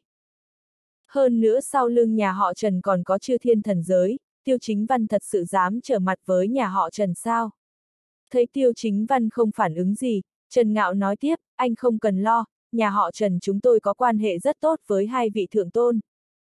Chỉ cần anh công khai nhận lỗi trước mặt đệ tử của dạ ma thiên thượng tôn, tỏ ý anh không có ý bất kính với hai vị thượng tôn, thì tôi tin với lòng vị tha của hai vị thượng tôn, chắc chắn sẽ không truy cứu sai lầm của anh. Nghe vậy, gần như tất cả mọi người đều nhìn về phía tiêu chính văn. Giờ phút này, mỗi câu nói của tiêu chính văn đều sẽ ảnh hưởng đến phương hướng của đại cục. Nhưng tiêu chính văn vẫn không trả lời mà quay sang nhìn đám người trong sân, bình tĩnh hỏi, mọi người thấy sao? Anh tiêu, thật ra chuyện này chúng ta có thể từ từ thương lượng. Đúng vậy, dù sao thực lực của chư thiên thần giới cũng quá mạnh, chúng ta không phải là đối thủ của bọn họ lúc này, đại diện của các thế lực lần lượt lên tiếng. Mọi chuyện đã đi đến nước này, bọn họ còn có gì để suy nghĩ nữa. Bọn họ không còn lựa chọn nào khác ngoài đầu hàng. Tiêu chính văn, thật ra anh cũng không cần hỏi ý kiến của chúng tôi. Thế lực luôn mạnh hơn con người. Lúc này đầu hàng trước chư thiên thần giới không có gì là mất mặt cả, còn có gì quan trọng hơn mạng sống đây. Điền Khải nhìn thẳng vào tiêu chính văn, nói với vẻ mỉa mai. chương 4950 Trần Ngạo cũng quay đầu lại nói với tiêu gính văn, thật ra cho dù anh không nghĩ cho bản thân thì cũng phải nghĩ cho hàng chục triệu người dân trong giới thế tục chứ. Hoa Quốc có thể kéo dài đến ngày hôm nay thật không dễ dàng gì, anh chỉ có thể đại diện cho chính mình, cho dù anh có thể đặt sự sống và cái chết sang một bên, nhưng những người khác thì sao? Lẽ nào ai cũng như anh, không màng sống chết, đấu với chư thiên thần giới đến cùng sao? Hơn nữa, anh phải hiểu rằng một khi xảy ra chuyện ngoài ý muốn thì bọn họ sẽ tàn sát giới thế tục, trong đó cũng bao gồm cả Hoa Quốc. Ừ, cũng có lý. Nói xong, Tiêu Chính Văn quay lại nhìn Điền Khải nói, anh cũng là một trong những người kế vị của nước Tề nhỉ. Vừa dứt lời, khí thức của Tiêu Chính Văn đột nhiên thay đổi, Điền Khải bỗng cảm thấy căng thẳng. Một giây sau, một luông sức mạnh khống chế khiến Điền Khải tái mặt, mồ hôi chảy ròng ròng. Lúc này, hắn mới nhớ ra lúc trước hắn đã tính kế với Tiêu Chính Văn ở Minh Hà, nhưng cuối cùng lại rơi vào bẫy của Tiêu Chính Văn, đến bây giờ trong cơ thể hắn vẫn còn khí tức khống chế của Tiêu Chính Văn. Chỉ cần Tiêu Chính Văn động một ngón tay, mạng sống của hắn sẽ kết thúc. Nếu anh đã quan tâm đến sự sống chết như vậy thì tôi sẽ cho anh thấy thế nào là cái chết thật sự. Quỳ xuống, Tiêu Chính Văn lạnh lùng nói. Tiêu Chính Văn, anh dám. Trần Ngạo xa sầm mặt lại. Dù sao Điền Khải cũng là người của hắn, hơn nữa nơi đây còn là nhà họ chân, dám đánh chó của hắn ngay trước mặt hắn, còn không thèm chào hỏi. Muốn lấy lại sát mẹ thì câm miệng lại, tiêu chính văn còn không thèm liếc nhìn Trần Ngạo mà chỉ giận dữ quát. Quỳ xuống, hoặc là chết, giọng tiêu chính văn đầy sát khí. Điền Khải liếc nhìn Trần Ngạo, thấy đối phương quay mặt sang chỗ khá, cố ý không nhìn mình, Điền Khải cũng chỉ đành nghiến răng, quỳ xuống trước mặt tiêu chính văn. Dập đầu, tiêu chính văn lạnh lùng nói. Nghe vậy mọi người đều vô cùng kinh ngạc. Sau khi Điền Văn ra đi, Điền Khải chính là thái tử nước tề, vậy mà tiêu chính văn lại dám bảo thái tử quỳ lại. Điều này không chỉ sỉ nhục một mình Điền Khải, mà còn sỉ nhục toàn bộ người nước tê. Chỉ cần anh cúi lại, tôi sẽ thu lại sức mạnh khống chế, trả lại sự tự do cho anh, những người có mặt ở đây đều có thể làm chứng, tiêu chính văn tôi nói được làm được. Tiêu chính văn cúi nhìn Điền Khải, châm giọng nói. Bịch bịch bịch, Điền Khải quỳ lại ba lần không chút do dự, sau đó ngẩng đầu lên nhìn chằm chằm vào tiêu chính văn. Audio điện tử võ tấn bền. Hết tập 135